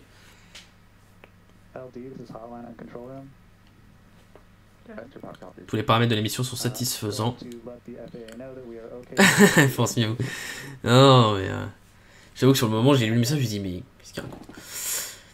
Euh, Ils ont carrément envoyé un avion dans l'espace. Non, ce gaming, c'est un micro-lanceur qui est accroché euh, en dessous de l'aile gauche du Boeing 747 de Virgin Orbit qui, euh, qui a été largué à plus de 10 000 mètres d'altitude et ensuite a effectué une ascension pour ensuite euh, atteindre l'altitude orbitale désirée. Et là, on voit évidemment, bon, on a maintenant plus que le focus sur le deuxième étage. hein. On a encore pas mal de LOX, mais on n'a plus beaucoup de fuel, on n'a plus beaucoup de, carburant, de kérosène dans le, dans le réservoir de, de carburant, donc c'est pour ça qu'on on ne dépense pas tout. Et euh, la payload est toujours là, le signal a été envoyé. Et euh, on a actuellement deux stations au sol qui effectuent la télémétrie, celle de Panasonic, hein, sans faire de placement de produit, et euh, Baya. On en a une aussi à Moyave, à Higgins Troll et à Mauritius. Donc je pense que Mauritius c'est euh, l'île Maurice. Je pense. Et on a aussi la température dans la chambre de combustion de Newton 4 hein, qui est euh, assez froide. Alors entre moins 150 et 600, mais je peux pas juger. Peut-être qu'elle est plutôt plus autour des 600, mais qu'elle va réduire vu que maintenant euh, elle chauffe plus du tout, vu qu'elle est euh, éteinte. Et ensuite, on a aussi les paramètres de nitrogène, d'hélium. L'altitude, la carte d'altitude, on voit que ça a fortement augmenté, que là maintenant ça se stabilise hein, en haut à gauche de, votre écran. Et on a aussi d'autres euh, cartes. Là j'ai ici Speed Map, là j'ai ici Acceleration Map. On a aussi le temps de le temps de burn. Et en bas à droite, ma caméra le camoufle, mais le deuxième burn. Voilà, qui n'a pas encore eu lieu. Orbit Base, LE1, just would like to congratulate Jamie and Christine Creedon. And uh, also Brandon Meehan, uh, I'd like to congratulate him on taking his MCAT. I guess uh, being a rocket scientist just wasn't enough for that guy. Space copies on all the congratulations. Euh, les équipes, les pilotes. Ils se trouvent à 200 km de l'ISS. Alors, euh, l'ISS, ah, en termes d'altitude, euh, peut-être, mais pas du tout sur le même, le même plan. hein. L'ISS actuellement, si je devais vous dire. Hop. C'est dommage parce qu'on n'a plus la carte avec. Ah, ça y est, on a la localisation.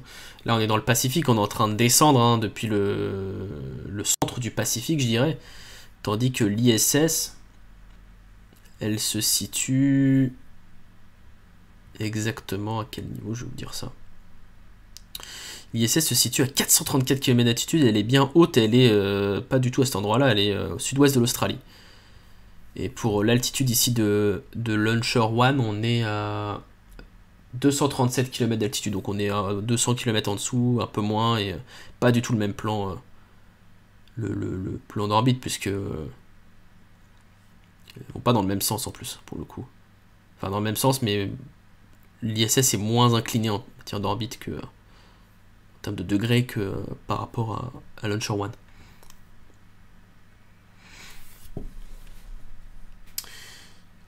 Désolé vraiment désolé, j'ai pas... C'est pas grave. Quand à toi on retrouve le signal, bah là on l'a à nouveau, hein. on l'a à nouveau, vous inquiétez pas. C'était pas parce qu'ils ont que 5 Il y a stations. hein. stations, donc on le retrouve. euh, Ouais, ils ont- voilà. mais ils en ont que 5 malgré Donc tout, c'est pas, c'est pas beaucoup 5 hein, en soi. Ouais. Enfin, c'est déjà pas mal, vous me direz. Faut se connecter, faut se connecter à Starlink. euh. C'est quoi la pastille jaune à droite euh, de Out of Corridor? De l'AFSS, euh, bah, tout à l'heure on avait le. Voilà, c'est en dehors du couloir. Je- il me semble qu'ils ont un couloir en fait. En fait, vous voyez, il y a un couloir, on l'a vu en plus. Euh, il y avait une ligne jaune et une ligne bleue. Et je pense que le que Launcher One doit se situer entre ces deux lignes. Et là, elle est en dehors du couloir. Donc, euh, je sais pas si c'est grave ou pas, mais normalement, les lanceurs ou les satellites ils doivent euh, se maintenir dans leur, euh, dans leur couloir, hein, bien comme il faut. hein. Donc, je sais pas si ça a une incidence particulière ici, mais ça peut en avoir une si jamais il y a des satellites qui sont croisés pas loin, pour qu'il y ait une distance de protection hein, entre, les- entre les satellites. Après, il y a aussi les, les étapes. Ouais, je sais pas si c'est les étapes ou si c'est relatif aux courbes qu'on a vu juste avant, là, les trajectoires jaunes et bleues. À voir. Parce que c'est la première fois qu'on couvre aussi un lancement de ce type, donc on n'a pas encore tous les paramètres de bien, euh, de bien euh, naquis pour nous, de bien, euh, qui sont bien rentrés dans nos cerveaux. Là, pour l'instant, on est encore en train d'apprendre. Elle est, elle est traitée à vous les retranscrire.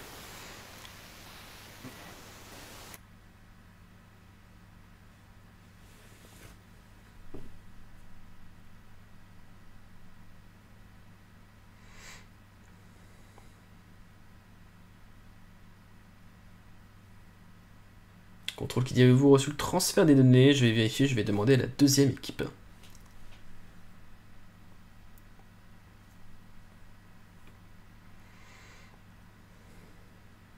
La tubular belle, c'est Mike Oldfield. Oldfield. Ah, c'est un, un hommage Je t'avoue, je ne me suis pas renseigné à ce sujet par, par contre.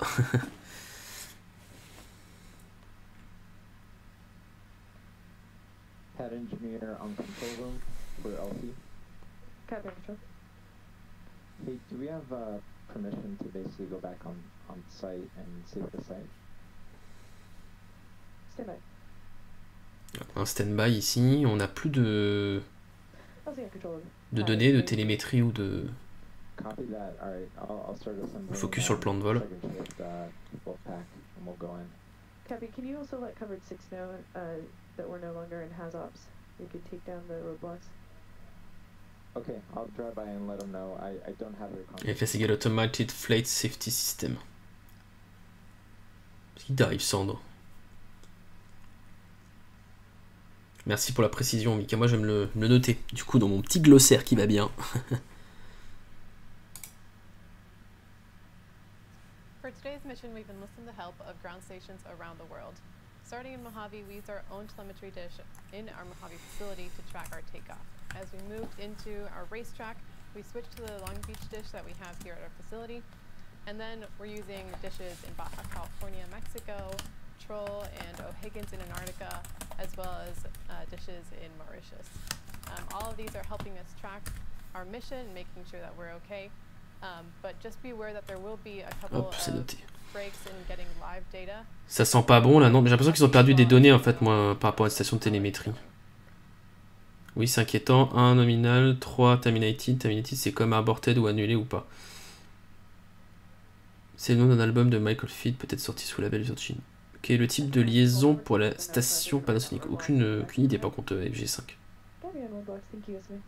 N'hésitez pas à nous poser la, la question sur notre serveur Discord, à nous rejoindre avec le point d'exclamation Discord, la commande point d'exclamation Discord dans le chat, où euh, les personnes les plus qualifiées, les plus expertes en la matière te répondront à ce sujet dans le channel FAQ, foire aux questions. T'es vite à l'ordinateur, ouais, non, mais il faut suivre tout ce qui se passe, donc il faut être, euh, faut être très rapide, concentré. Mais là, du coup, je sais pas ce qui se passe parce qu'on n'a plus du tout de, de vue ni de paramètres, euh, on n'a plus rien là. Nous utilisons les plats à les stations à Bahia en Californie, au Mexique, à All Islands en Antarctique, ainsi qu'il y a des stations à Maurice. Tout cela nous aide à suivre notre mission, nous assurant que tout va bien.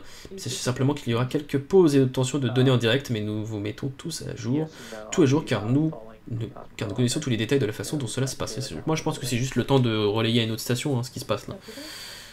Moi, je le vois comme ça. J'espère qu'en tout cas que c'est le cas, parce que qu'il n'y a pas de problème qui est survenu.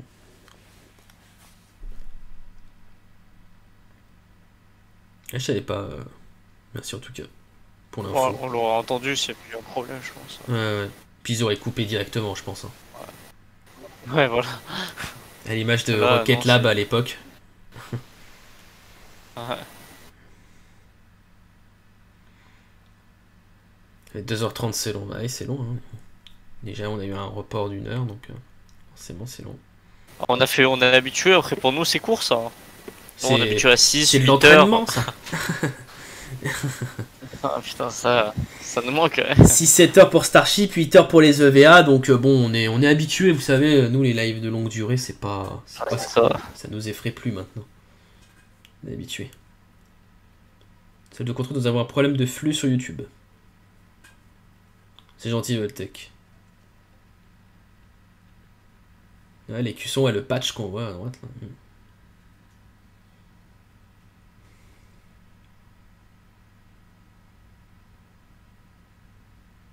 Bon, qu'est-ce qui se passe-t-il? Moi, je vais aller voir le, le Twitter quand même de Virgin Orbit pour voir ce qu'il en ressort. Welcome back, everyone. Wow, that was just so amazing and so exciting to see Launcher One make it to space. Ah, effectivement, pour ceux qui disaient tout à l'heure, Richard Branson a aussi fondé Virgin Orbit, hein, je me trompais. En plus de Virgin Galactic, donc euh, we pour moi. Alors, où en sommes-nous? Um, Ah bah voilà, on l'a, Richard Branson qui est là, à droite. Fondateur du groupe Virgin, hein, qui possède Virgin Orbit, Virgin Galactic. Ils sont plutôt bien, quoi. I'm not quite over the moon, but over the moon. Par contre, la liaison, c'est pas trop ça. hein. Um, I, must admit, I'm a little biased. It was uh, there we are with, with a Virgin Atlantic 747 flying, and the drop took place bang on 747. And I was more excited than that than almost seeing it going into orbit. It was just just perfect. It was all planned that way. It- it- it- I you could never plan that. It was just um, magical, and uh, obviously the mission's not quite quite completed, but so far it's just so good. We're on our way. Uh, we're, we're in space and in orbit. We've got one more burn to do. Je vais in retourner sur le chat, parce que du coup, je voyais plus vos 16, messages. 17 minutes, but who's counting? Uh, and, uh, Ouais, ça s'achète des patchs, orbit. It's, um, Bon retour à tous, c'était tellement incroyable et tellement excitant de voir le lancement. L'un d'entre deux se rendent à nouveau dans l'espace. En ce moment, nous avons deux invités très spéciaux qui se joignent à nous. Ils sont très bien et aiment beaucoup Monsieur Richard Branson, qui est le fondateur du groupe Virgin et le PDG Dan Hurt. Bienvenue, les gars. Il arrive pour Falcon 9 de perdre le signal entre l'Arabie Saoudite et les Maldives. Ouais, non, mais là, euh, c'est voilà, des choses qui arrivent, hein, des pas de télémétrie. Chez Nastro Alex, les marathoniens du live Astro. Tout à fait. 4 lives cette semaine, 5 lives cette semaine avec le, le report hier. Et qui a failli faire le tour du monde en montgolfière il y a quelques années. C'est Richard Branson C'est Patrick Covid qui vient de faire euh, Richard Branson.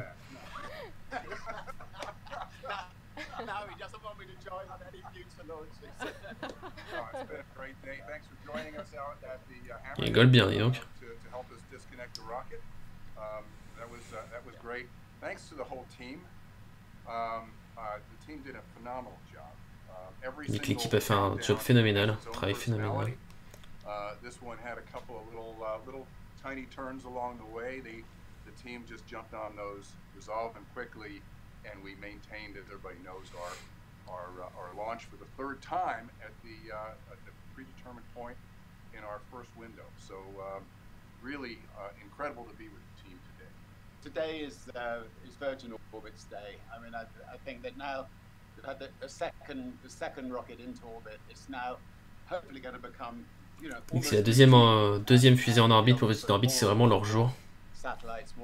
Richard Who Electro aussi a une perte de télémétrie, ouais, le deuxième étage à l'époque sur la mission euh, euh, Running Out of Toes qu'on avait couvert avec Jérôme en, en plus. Euh, c'est les frères Picard qui ont réussi le tour du monde.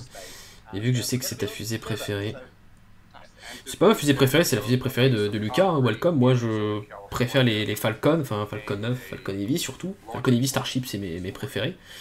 Après avoir SLS, avoir euh, les nouvelles fusées qui vont arriver, euh, peut-être qu'elles me feront changer d'avis. hein, moi je suis, j'aime tout, je, je ne suis pas, euh, je fais pas du favoritisme pour telle ou telle entreprise ou telle ou telle agence. hein. C'est en juillet le vol de chef Bezos, tout à fait Pucho, c'est euh, le 20 juillet et c'est déjà planifié sur la chaîne, hein, donc tu peux activer le petit rappel ou t'abonner, activer la cloche, comme ça tu seras notifié lorsqu'on livera ce, ce lancement.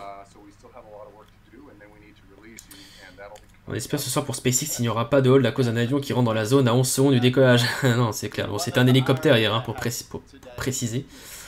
Mais effectivement, un hélicoptère euh, a entravé la, la zone de- d'exclusion euh, définie euh, par SpaceX. Le fait qu'il y ait certains appareils qui aient l'autorisation de s'introduire dedans, mais pour le coup, cet appareil n'avait pas le droit et euh, s'est fait réprimander par SpaceX. Et ça euh, crée un hold, un scrub, un report. Donc euh. On espère que ce soir ça sera au beau fixe et que ça se passera dans de bonnes conditions, dans de meilleures conditions.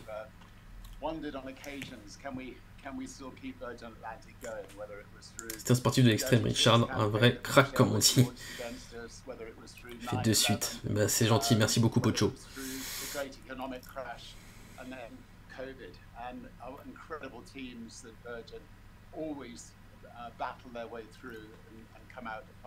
And you know they should be so proud to see us the 747 instead of it rotting in the in the desert there carrying this this magnificent rocket that can make so much difference back here on Earth uh, up into the space. So, you. Ils sont contents, hein. And that's only my 10 copies. I can carry on talking. Parce que il, Kourou, il lance des Soyuz. Oui, Valtech, il lance des Soyuz hein, depuis Kourou. Pas que des Vega Ouais, et pas que des Ariane 5. j'en dirais. mais- Ah, il use depuis. Depuis longtemps. Ah. Mais bon, malheureusement, euh, c'est c'est pas très long. C'est. Enfin, c'est. Il y a beaucoup de temps entre chaque lancement. Ouais. Il y a. C'est pas comme SpaceX où il y a un, un lancement par mois. Oh, tu peux même réduire la fréquence chez SpaceX. Hein. C'est un lancement toutes les deux semaines ou toutes les Ouais, semaines. c'est vrai. Mais c'est vrai qu'en Ou ce même, moment, là, ils ont euh, deux lancements en 24 heures ou en 48 heures, je me rappelle plus. Ah oui, je, ouais, ouais, je me souviens plus, mais il y avait eu, ouais, il y avait eu ça. Ouais. Ouais, deux lancements en moins de 48 heures. ouais. Ah oui, avec une Falcon 9 sur euh, pas de 39A et une autre qui était euh, sur Ouais, pas ouais. SLC 40, ouais, je me rappelle. En Californie. Hmm. Ah non, à Vandenberg? Ah, Ok. Ouais. Ok, ok. Je me rappelle plus trop, mais. Du coup, FSS, c'est le système de destruction. Non, terminating égale détruit. All of corridor égale système inefficace vu que la fusée est dans l'espace. Est-ce que tu sais si la météo est bonne euh, pour SpaceX ce soir? Euh, Alors, on a tweeté hier à ce sujet. On était encore sur du 70% go météo, donc je pense que oui. euh. Il me semble que oui. On était sur du 70% météo euh, sur le tweet qu'on a posté hier. euh, et les actus, n'hésitez pas à nous suivre aussi sur les réseaux sociaux Instagram, Twitter, Facebook pour avoir toutes les actus spatiales, même si elles tombent aussi dans l'onglet communauté. Mais ouais, sur Twitter, vous les avez en direct, vraiment en temps réel, donc ça va encore plus vite. Alors que sur YouTube, vous êtes obligé d'aller sur la chaîne ou d'actualiser votre, votre accueil, votre flux YouTube. Alors sur Twitter, si vous nous suivez, vous mettez la notif. Vous avez tout de suite les notifs des tweets. Si vous mettez les notifs sur la chaîne, vous avez les lives et les vidéos. Et là, vous êtes très bien. Vous êtes au top. Vous avez à la fois les actualités et les vidéos et les lives. Donc, euh, vous serez informé par l'ensemble de, des contenus qu'on poste.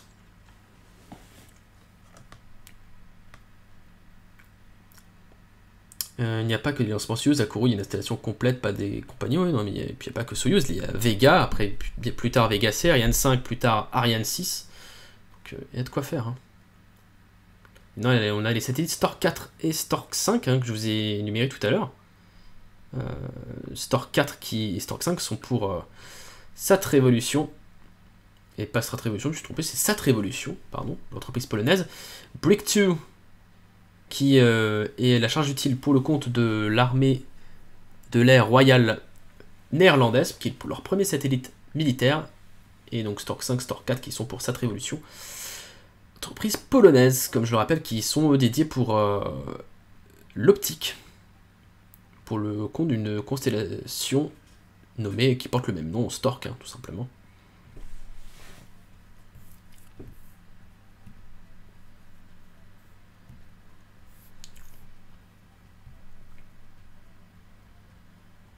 Et oui, il est sur Instagram, les stories sont jolies en plus, euh, que Printworks nous, fait, donc... euh. Ouais, j'avais mis Sat Révolution, j'ai dit Strat, non c'est Sat Révolution, tant pour moi, c'est moi qui me suis trompé.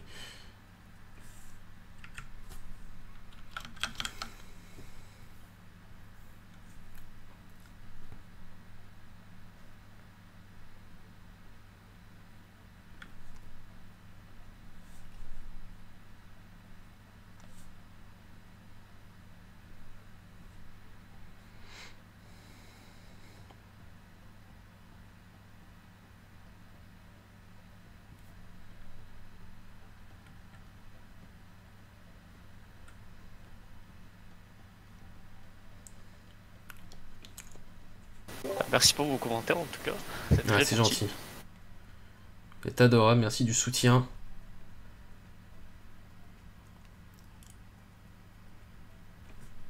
Transporteur 2, le temps est très bon, ouais, c'est toujours mieux qu'hier, tant mieux.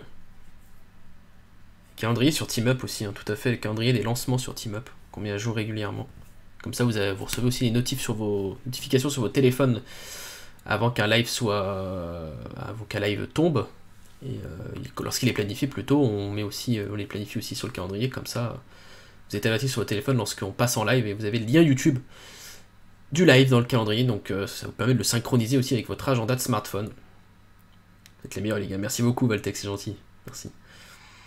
Des news de Firefly Alpha. Alors Firefly Alpha, elle, on n'a pas encore de, de go ou de tentative de, de prévu. Je sais que... Je vais regarder ça. Pour Firefly Alpha, c'est censé avoir lieu normalement net juillet, on ne sait pas encore, pour le vol de test qui s'appelle Dream Demo Flight. Donc Firefly Alpha, hein, euh, depuis le pas SLC 2W de la base de l'Air Force Base de Vandenberg. Donc l'entreprise c'est Firefly Aerospace. Et les clients seront Benchmark Space System, Cambridge, l'université de Cambridge et d'autres. Et euh, voilà. Bonnement. Ce sera 26 CubeSats qui seront déployés. Et le premier vol de Firefly Alpha en orbite basse terrestre.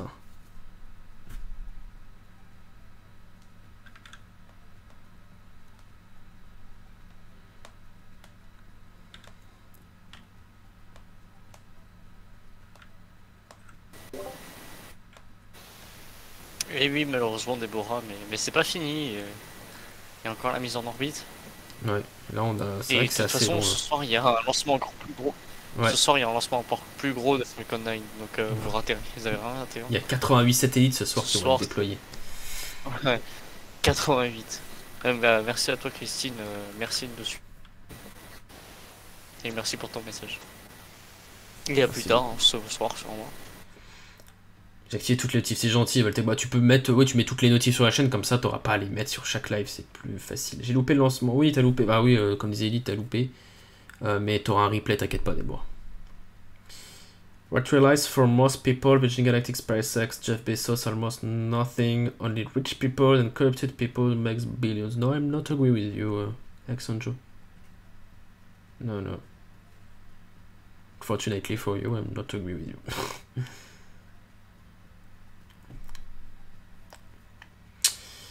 Salut empereur.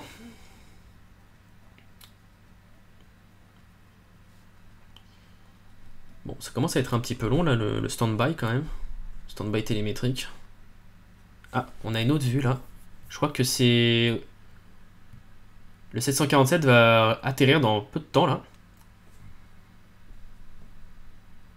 LC, this is TE stepping off for the day.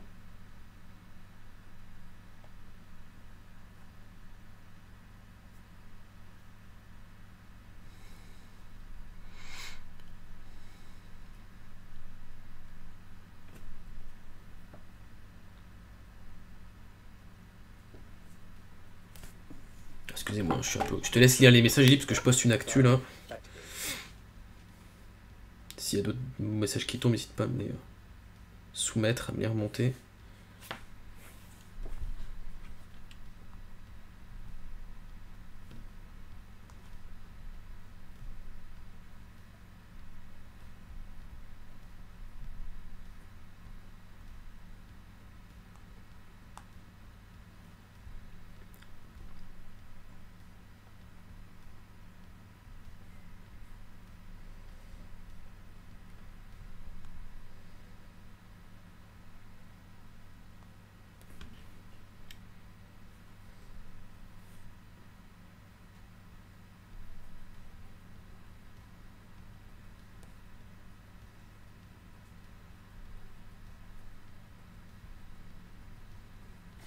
Couper le son en attendant.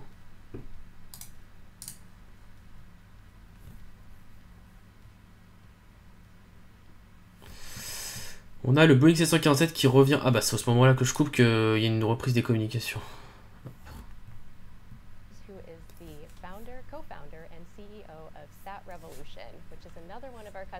Ah, Sat Revolution, des cofondateurs euh, d'entreprises polonaises qui lancent les deux satellites euh, d'optique pour la constellation. Hello, uh, I'm really excited, so it's really nice to meet you all here in Mojave Desert. Very nice to meet you too, and definitely an exciting day for um, Virgin Orbit and Sat Revolution. So we've learned a little bit about your satellites. I hear they're optical satellites. Could you tell us more about your Stork constellation? Yeah, this is uh, really exciting uh, time for us because we are launching uh, we are launching our first two of uh, first two satellites from our constellation. This is uh, the, the constellation is called Storks. Uh, so uh, we, this constellation is uh, for agriculture purposes. Uh, uh, we want to mm, serve, Lié à L'agriculture, cette constellation de satellites de l'entreprise Sat Revolution. hein. Je vous rappelle que les noms de la constellation c'est euh, Stork. Et là c'est Stork 4 et 5 qui ont été lancés. First two satellites on orbit to test uh, all our equipment, and uh, we are ready to go for the next launches. That's amazing. Well, we really look forward to working together in the future and you know, finding ways to cultivate Poland's growing satellite community. So, could you tell us a little bit more about um, what kind of data these satellites will be collecting? Okay, so the uh, the satellites is uh, um, doing imagining the vision uh, uh, RGB plus near bands. So this is uh, for the agriculture uh, purposes. Uh, with those uh, data, you can. Uh, Je vais reprendre vos messages les amis, excusez-moi parce que je suis en train de poster une actu. vegetation Hop. when you when you have to crop the fields and when you have to put more water on the field. So this is like really important data for C'est à Um, quelle heure pour la fusée Pour euh, Transporteur 2, The, Ser- The, The Seven? Pour cette- Premier satellite est prêt pour le démarrage. On t'aura, nous avons donc un autre invité spécial. for our clients. So Donc c'est Monsieur uh, Gors. Le flight plan indiqué 520 secondes pour le, bar- le BBQ. 2200 2500 secondes pour SE2 SICO2 Payload déploiement donc dans environ 33 minutes entre les deux, ça devrait pas tarder. Très heureux de vous rencontrer aussi, c'est une journée passionnante pour Virgin Orbit et Staff Sat Revolution. C'était il y a 25 minutes le BBQ Roll. Cette constellation est à des fins agricoles. Nous voulons servir les clients agricoles aux États-Unis ainsi que cette année nous lançons 14 satellites et l'année prochaine ce sera jusqu'à 16. C'est donc un moment très important pour nous d'avoir les satellites en orbite pour tester tout notre équipement et nous sommes prêts à partir dans les prochains jours, dans les prochains lancements. C'est incroyable, et bien nous sommes vraiment impatients de travailler ensemble à l'avenir et de trouver les moyens de cultiver la communauté satellite croissante de la Pologne. Pouvez-vous nous en dire un peu plus sur le type de données que ces satellites vont collecter Et voilà. Bah pour Transporteur 2, c'est 20h56 euh, céréales ce soir. Sur la chaîne, à 20h25, nous serons en live, donc euh, n'hésitez pas, même un petit peu plus tôt, je pense, donc n'hésitez pas à, à vous abonner, activer la cloche pour pas louper ce live. Voilà. Moi, je, je vais vous laisser. Pas de souci, Eli, bah merci à toi de m'avoir accompagné. Tu seras là ce euh, soir pas te laisser seul quand même. Non, malheureusement, je serai pas là ce soir. Ah, J'essaierai de, de regarder un petit peu le décollage. Pas de soucis. On va pas trop le voir, mais, euh, mais bon, je, je pense que ça va être un bon décollage avec euh, 88 satellites, ça va être pas mal à voir. Ça va être quelque chose. hein, Surtout c'est le clair. déploiement. Ouais, mais les déploiements vont être impressionnants. Le déploiement, ouais. Bon bah écoute, euh, merci à toi. Bon, Bonne bah, fin de journée, bonne soirée et puis euh, et voilà. à plus. Ciao aussi. Allez, à plus. Ciao. Poland. So this is really exciting time um, for Poland. For Je suis tout de suite à vous les amis, je reprends rapidement mon intitulé pour la mettre sur l'onglet et on est bon. Tac. Ah, pourquoi voler avec Virgin Orbit? Uh, Ils sont très flexibles. uh, uh, Pour la date de lancement, c'est vrai que c'est flexible parce que maintenant, euh, ce qu'il faut savoir, c'est que SpaceX et peut-être même Rocket Lab commencent à avoir des cahiers de commandes euh, pleins, remplis. Et maintenant, des petites euh, des structures émergentes comme Virgin Orbit ou d'autres euh, ont des cahiers de commandes moins remplis, évidemment, qui- viennent d'émerger sur le marché. Et donc, bah, ça permet aux entreprises d'avoir plus de flexibilité sur les dates de lancement et les dates de, sur les dates de lancement. Contrairement aux autres où il faut attendre un an, deux ans, trois ans euh, pour avoir une date parce que leurs cahiers de commandes sont tellement pleins que euh, y a plein de clients qui sont avant dans leur liste, dans la liste d'attente. Donc, c'est vrai que c'est une belle qualité pour Virgin Orbit d'avoir cette flexibilité-là. Peut-être qu'ils n'auront plus après, mais au début, quand vous émergez, quand vous êtes une nouvelle structure comme ça, c'est plus facile de, de l'avoir. Absolutely. Thank you so much for joining us on that interview, Jagorz. Um, we've met, you know, representatives from the DoD, Je vais from me mettre um, le chat sur l'iPad. like to introduce our next guest, uh, Et Lieutenant prochain invité. Bowden, and he is going to be representing the Royal Netherlands Air Force. Hop. Hi, hello. And, um, Prochain client, je pense que c'est euh, le client néerlandais là. joined by Jeroen from uh, ISIS. So we have uh, MOD and uh, industry here together. Great, welcome. Thank you so much for joining. How is it out there in Mojave today? Uh, exciting, yeah. The, there's still one more exciting point uh, with the, the ignition of the second stage and the deployment. But uh, yeah, we're, we passed already many critical phases, so I'm uh, relieved. Il est but, content, maintenant il est confiant puisque des phases critiques ont été euh, se sont produites. Moi je pense que tout, tout va bien hein, maintenant, que les clients sont contents aussi, hein, c'est un motif de satisfaction et de, et de confiance là dans le the vol.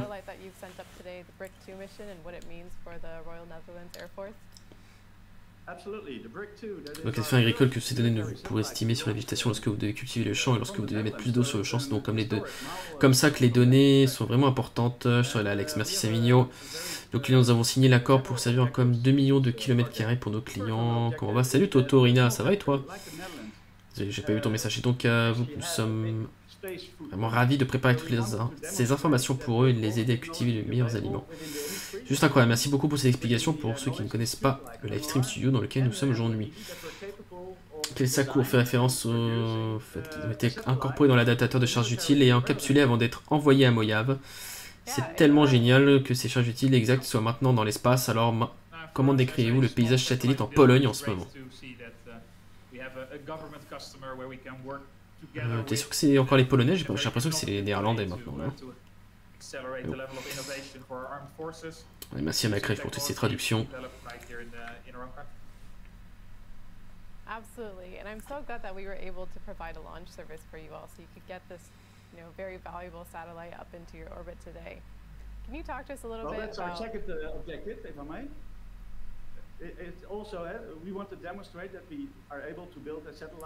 Ouais, en bas, l'image, on va avoir, on a l'avion qui va atterrir, ouais. Ouais. Bonne remarque, Dylan, tout à fait. But we do not want to repeat uh, capabilities that are already available in the uh, coalition. So uh, the cooperation with Virgin and uh, SMC here in Los Angeles also uh, identifies the strength Ça va super vite. ouais, c'est les Néerlandais là. Les clients néerlandais. Thank you so much for bringing that up. Pour leur premier satellite militaire euh, pour le compte de la l'armée euh, de l'air royale néerlandaise. From here. Uh, yeah, there are two parts of the question. I'll take the first one from the military perspective, because the Brick 2 is really a demonstrator for responsive space capability. In the Ah, c'est Brick 2, donc je pense que non, on est encore sur le. Space, uh, environment, we see the need to uh, launch uh, responsively. Ah oui, on est sur, oui, on est sur le client néerlandais. Brick 2, c'est le client néerlandais, autant pour moi. Oui, c'est ça. That's why we selected Virgin Tout va Orbit bien. demonstrate the concept of responsive launch capability. And uh, Jeroen, from the industry perspective, Yeah, from an industry perspective, we're uh, next to a satellite builder in a, in a turnkey fashion. We're also a rideshare provider, so the Virgin Orbit launch capability fits very well in that mix of launch vehicles that we use. So we hope to uh, to be a, a solid partner for Virgin Orbit and uh, and a regular customer of uh, your rides to uh, to orbit in the in the next years. Well, that is exactly what we love to hear. Thank you so much for joining us, both of you, um, and sharing all those words with us. Incredibly important. Um, I'm going to let you both go back to the festivities. I hope you enjoy the rest of the day, and I hope we get updates for you all soon on how we're doing with deployment. thank you very much. Thanks. Thank you so much. Et ça y est, le Boeing 747 de Virgin Orbit va atterrir. Port spatial de Mojave.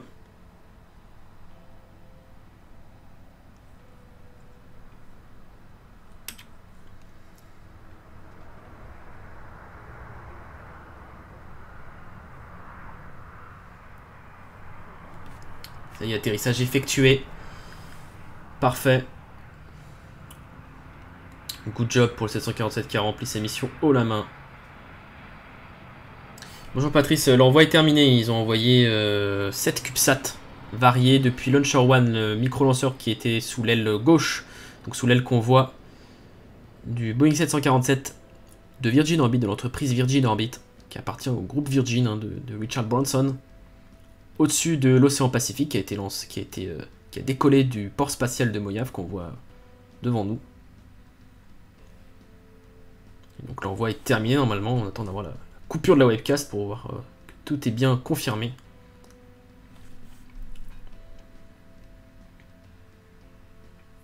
Bel atterrissage. Oui, j'ai OBS, euh, FG. C'est une petite rotation du 747.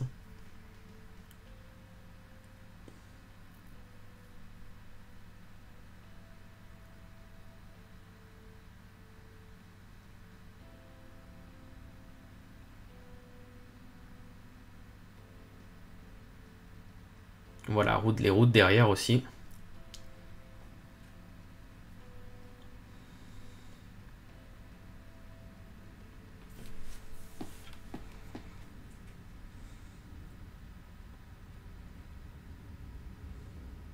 Des avions en stock. Ah il y en a des avions à l'aéroport.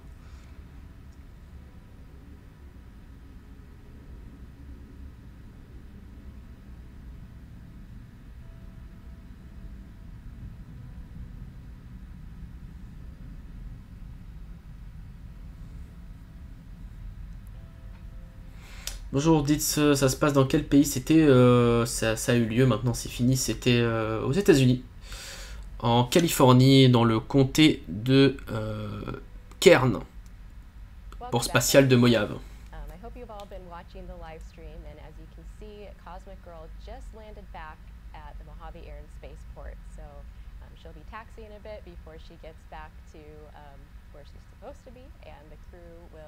be deplaning just shortly. Um, I do want to mention that the crew is all safe and well, and we hope to see them soon. So in the meantime, let's talk a little bit about our mission name and mission patch. Uh, back in 1973, Richard Branson, then a young entrepreneur and record shop owner, met a young new musician named Mike Oldfield who made a parle un peu plus du patch là, qui est émergé en 1973. Et ils disent aussi que l'équipage euh, de l'appareil va bien, tout va bien. Donc, pair played the demo for nearly every record label they could, but no one was willing to take the chance on it. It just sounded so different from the big rock and roll that dominated the charts at the time. With no one willing to do the job, Richard decided he would simply create his own record label to help his friend make and release the album. And thus, Virgin Records was born.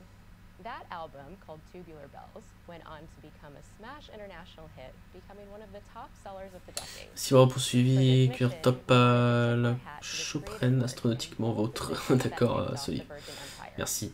Et c'est pas ce soir, il y a encore un live. Hein. Transporteur 2, de la par, opéré par une Falcon 9 de SpaceX. À 20h25 sur la chaîne. Un petit peu plus tôt même. Tubular Bells, the first track on the first album from the first band ever signed to Virgin Records. What a way to kick off our commercial service. Pour la musique passée sur Virgin euh, Tubular Bells, c'est pour ça qu'ils ils en font hommage euh, sur ce patch en nom de mission. C'est une boutade. ouais, ouais c'est une boutade, Akim. Pas terrible.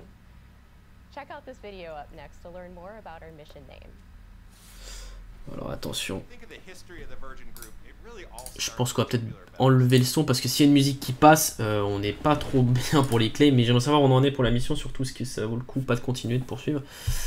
Euh, de ce qui se passe là parce que on n'a pas de confirmation sur les satellites de mission du jour parce que bon euh, là on voit Richard Branson à gauche hein, justement au jeune euh, moi ce qu'on veut savoir c'est la mission est-ce que tout s'est bel et bien déroulé sur la fin ou non hein, qu'on coupe ou pas on va avoir le payload déploiement ah merci voyez mais ce n'est pas où sont stockés les avions en bout de vie ou sans client possible Sophie possible J'espère qu'ils vont pas rater leur atterrissage sur la terre ferme sur SpaceX. Euh, moi j'ai hâte de voir ça, les images, le son que ça va procurer. On va avoir des banques supersoniques, certainement, en plus. Euh, donc euh, voilà, plus British Album, je vais éviter de vous mettre la musique. J'ai pas envie d'avoir de, j'ai pas envie d'avoir de claim, clairement. Je vais laisser ce passage là sans, son et on va, je vais prendre vos questions, vos dernières questions avant qu'on ait le l'annonce officielle du déploiement par les équipes de Virgin Orbit.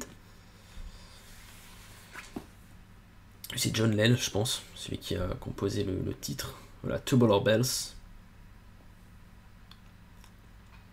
Mais oui, ça va être fou. Soir, la Landing Zone 1, euh, le booster de la Falcon 9 ce soir ne va pas atterrir sur une barge, mais bien sur une zone d'atterrissage terrestre.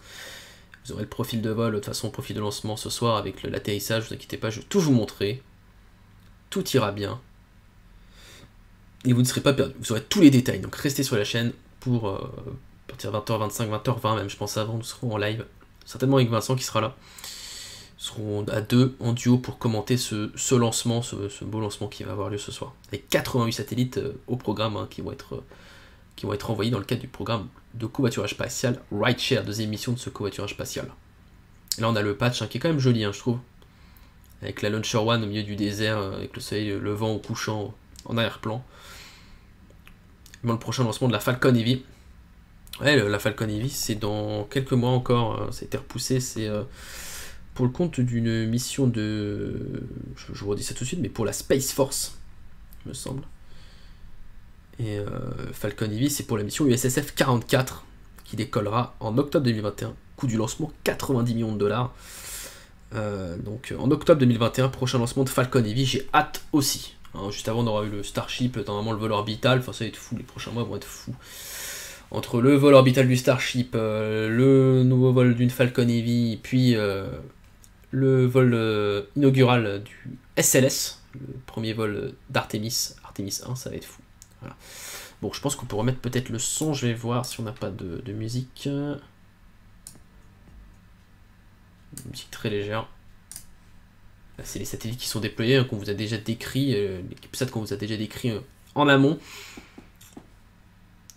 Bonne retransmission, mais Virgin est assez radin en vidéo, merci les gars, à ce soir, à ce soir, j'y Fluche.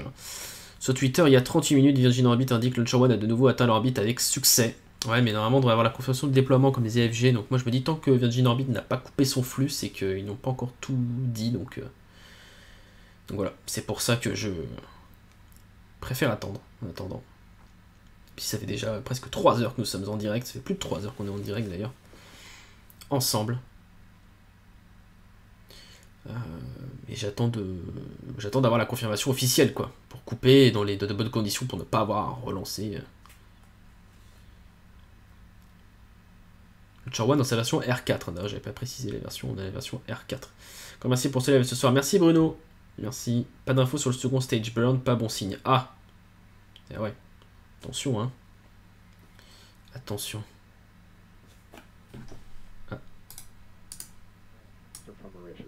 On a des communications. Enfin, on avait des communications. Je sais pas si Mac est encore sur le stream. C'est la première fois un atterrissage terrestre pour un booster de Falcon. Non, c'est pas la première fois, euh. Il y en avait eu un notamment pour euh, le lancement inaugural de la Falcon Heavy. Hein. Rappelez-vous, les deux boosters étaient revenus euh, simultanément sur leur landing, sur leur zone d'atterrissage terrestre respective. C'était c'était fabuleux. Salut Sébastien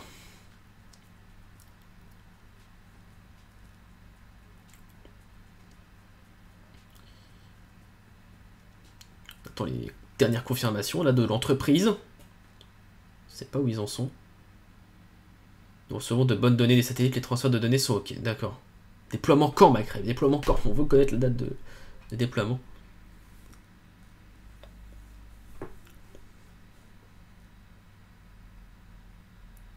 Sont en orbite.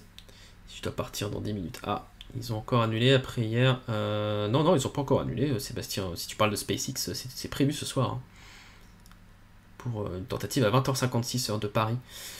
3 heures de live pour 4 CubeSat, pas un bon ratio tout ça, on va exposer ça ce soir. 7 CubeSat au total. Pas 4. Ah, il y a le deuxième burn.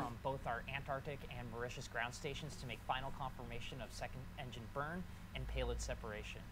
In the meantime, we want to bring you one last video, so, or might have a few more, but at least one that we specifically wanted to highlight is with the Allied partnerships demonstrated in this mission with both the Netherlands and Poland and these developing space nations, the Allied camaraderie is important and is getting attention. Il une dernière vidéo qui va nous être présentée avant, je pense, les confirmations finales. C'est un avion Eldorado, oui, c'est un Boeing 747 modifié, conçu et fabriqué pour euh, l'emport, le transport d'un lanceur spatial, du micro-lanceur Launcher One, qui, une fois que le, Boeing il a atteint une certaine altitude, 35 000 pieds, plus de 10 000 mètres d'altitude, il largue Launcher One qui se situe sous son aile gauche, et ensuite elle va partir. Va faire avec une ascension très très euh, vertigineuse, un peu à l'image d'une Pegasus XL à l'époque, hein, si tu vois de quoi je parle, qui était aussi larguée je crois à partir d'un 747. Et je crois qu'on a les entreprises polonaises et néerlandaises là qui communiquent. Je ne vais pas me tromper. donc en tant que dirigeant de la mission, nous avons dépassé le stade où nous aurions théoriquement notre deuxième moteur à brûler. Nous attendons, de recevoir des données de nos stations au sol antarctique et Voraces pour faire la confirmation que ça s'en Russie. Final de la combustion du deuxième moteur et de la séparation de la charge utile dans l'intervalle, nous voulons vous apporter une dernière vidéo. C'est pourquoi nous en avons peut-être quelques autres, mais au moins une que nous voulions spécifiquement souligner et que les partenariats alliés ont démontré dans cette mission avec les Pays-Bas et la Pologne et ces pays en développement. Et tout à fait, Gandrero, c'est déjà dans l'espace depuis un bon bout de temps, là. Hein. Euh, c'est en orbite même. Hein. Là, il devait la circulariser avec le deuxième burn, ça doit être normalement fait maintenant.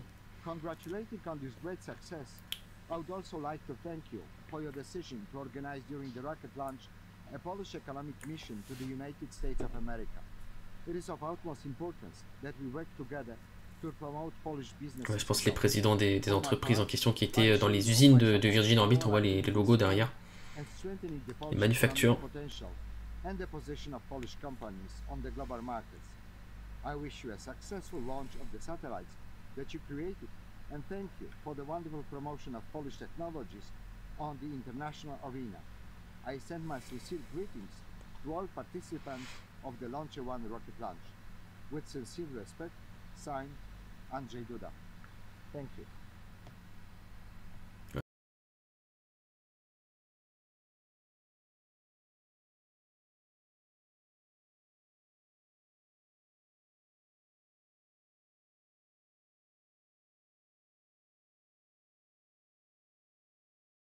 Je vais me faire, euh, je vais me faire claim moi.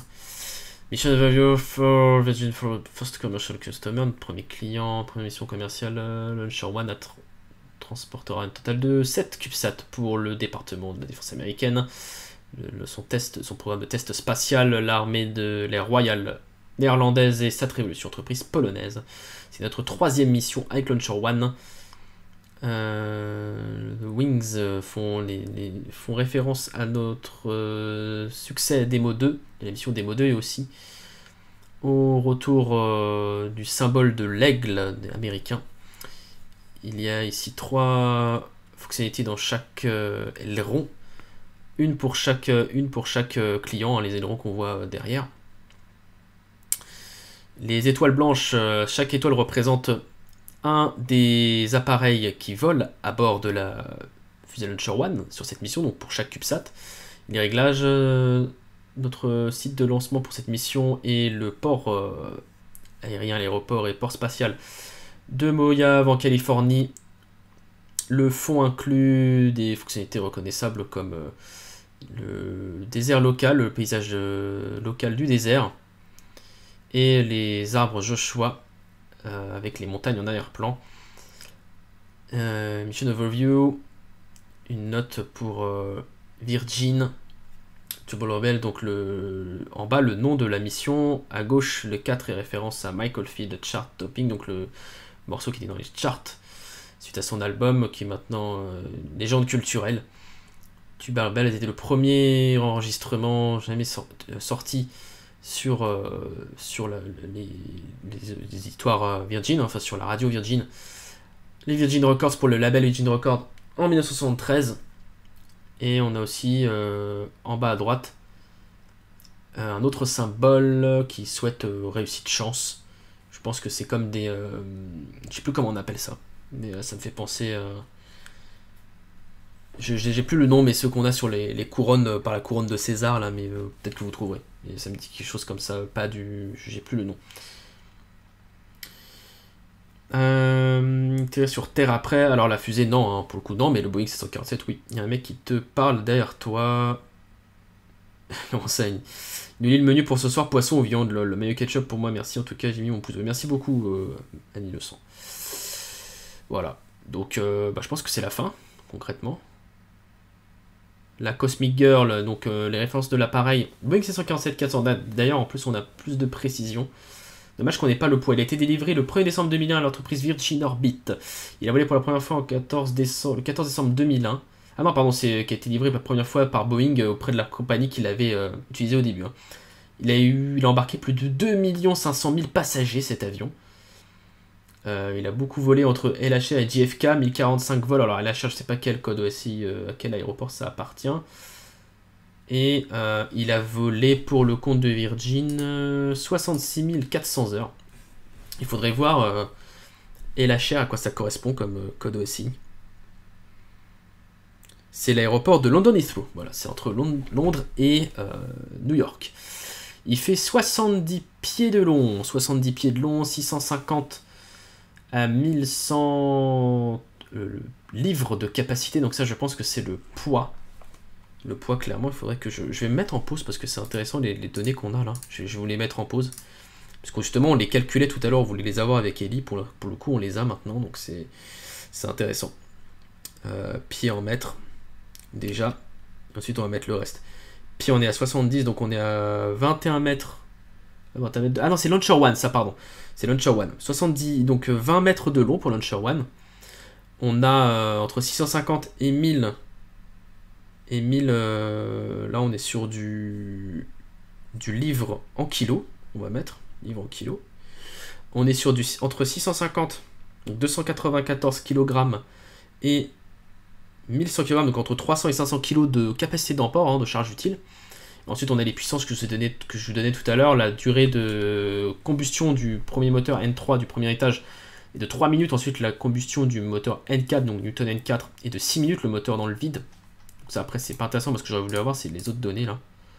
Est-ce qu'on a d'autres données intéressantes concernant euh, peut-être euh, le Boeing? Ah, Là, on avait tout le plan de vol.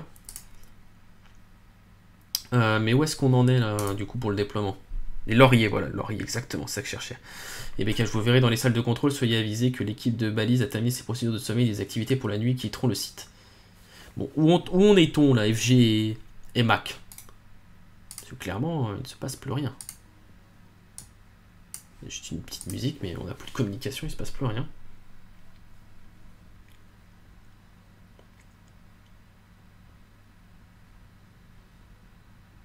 Yeah, I'm gonna step off for now.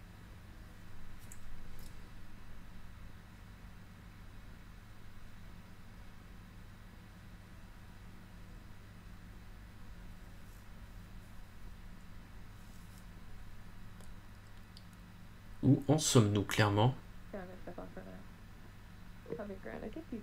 it, Dave. Awesome. You better. Normalement, Saving End devait avoir lieu. Euh... Allez, 3700 secondes. 3700 secondes en minutes. euh, Je sais que 3600 secondes c'est une heure. Normalement, on est censé être bon. On doit être normalement dans la fin là. hein. Euh, Puisqu'on est à plus d'une heure trois après le largage. The ground team, um, I see no reason to uh, continue to be on net, so good step off there. Um, the pad techs are off, and I expect that all first shift operators are now off as well. Um, and we'll be figuring out uh, the lingering split shift uh, when they can step off soon. Nous avons des pertes de signaux avec un des satellites. La perte de signal est prévue Cathy, mais le transfert de données est toujours actif en provenance des satellites. Bon. Que ça va bien avoir lieu.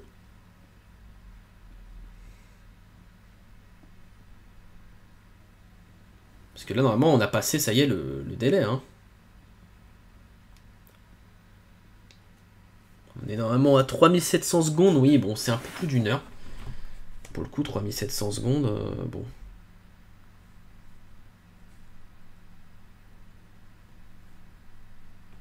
On est, euh, normalement, on est à 1,02 heure, enfin bref. Ce qui fait normalement 1 heure et. Euh, 1 heure et 1 minute 40, quoi. Donc normalement, on est censé être bon, quoi. Sur avec SpaceX, il faudra attendre 1h27 après le lancement pour le déploiement de tous les satellites, il me semble, Alex. Oui, non, mais là, après, ça sera bon. 1h27 après le lancement, ça sera. On a calculé. On a calculé, on a calculé ça. Ça fait euh, 22h24, on devrait être bon, quoi. Euh, 22h23, normalement, ça devrait être bon pour ce soir. Tout sera déployé ce soir. Le plan sera bon et fin de journée. C'est pas où ils en sont là. Les amis de Virgin Orbit, ce serait intéressant de le savoir. Important.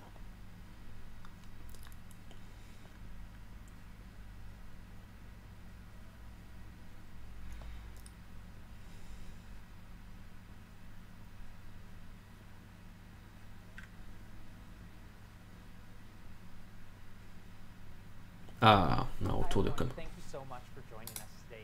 As we've mentioned previously, unlike Newton 3 where we have one burn, we have two burns on Newton 4. So we've been going through that coast period and have been waiting for the uh, second burn. We're patiently waiting for all of that data to come. And gosh, as the rocket moves around at speeds approaching uh, upper level Mach numbers and orbital velocities, it takes a while for us to get around the Earth. So we're going to go ahead and close out our public live stream here. Ah, ils vont Just so you couper leur live ici. everything has been nominal up to this point. Tout a été nominal expect jusqu'à everything ce is point. Going well, but it's going to take a minute for us to get the rest of that data and be able to confirm successful payload deployment. We expect that we'll receive that data in about an hour, so just stay tuned. And for further updates, keep an eye on our Twitter page at Virgin, at Virgin Orbit. Uh, we'll share an update as soon as we have more information from our tele telemetry downlink. Thanks again to everyone who tuned in today for our Tubular Bells Part 1 mission. And thanks again to our Bon, très bonne mission en tout cas. hein. GG aux équipes de Virgin Orbit, euh, du Boeing 747, des, des pilotes, et aussi des, des personnes dans les différentes euh, bah, dans le salle, la salle de contrôle pour toutes les opérations pré-vol, enfin opérations pré-vol, post-vol, pour l'acquisition des données, etc. Donc voilà, ils coupent leur flux là. Nous, on va s'arrêter également, les amis. C'était c'était super de vous avoir, euh, d'être à vos côtés.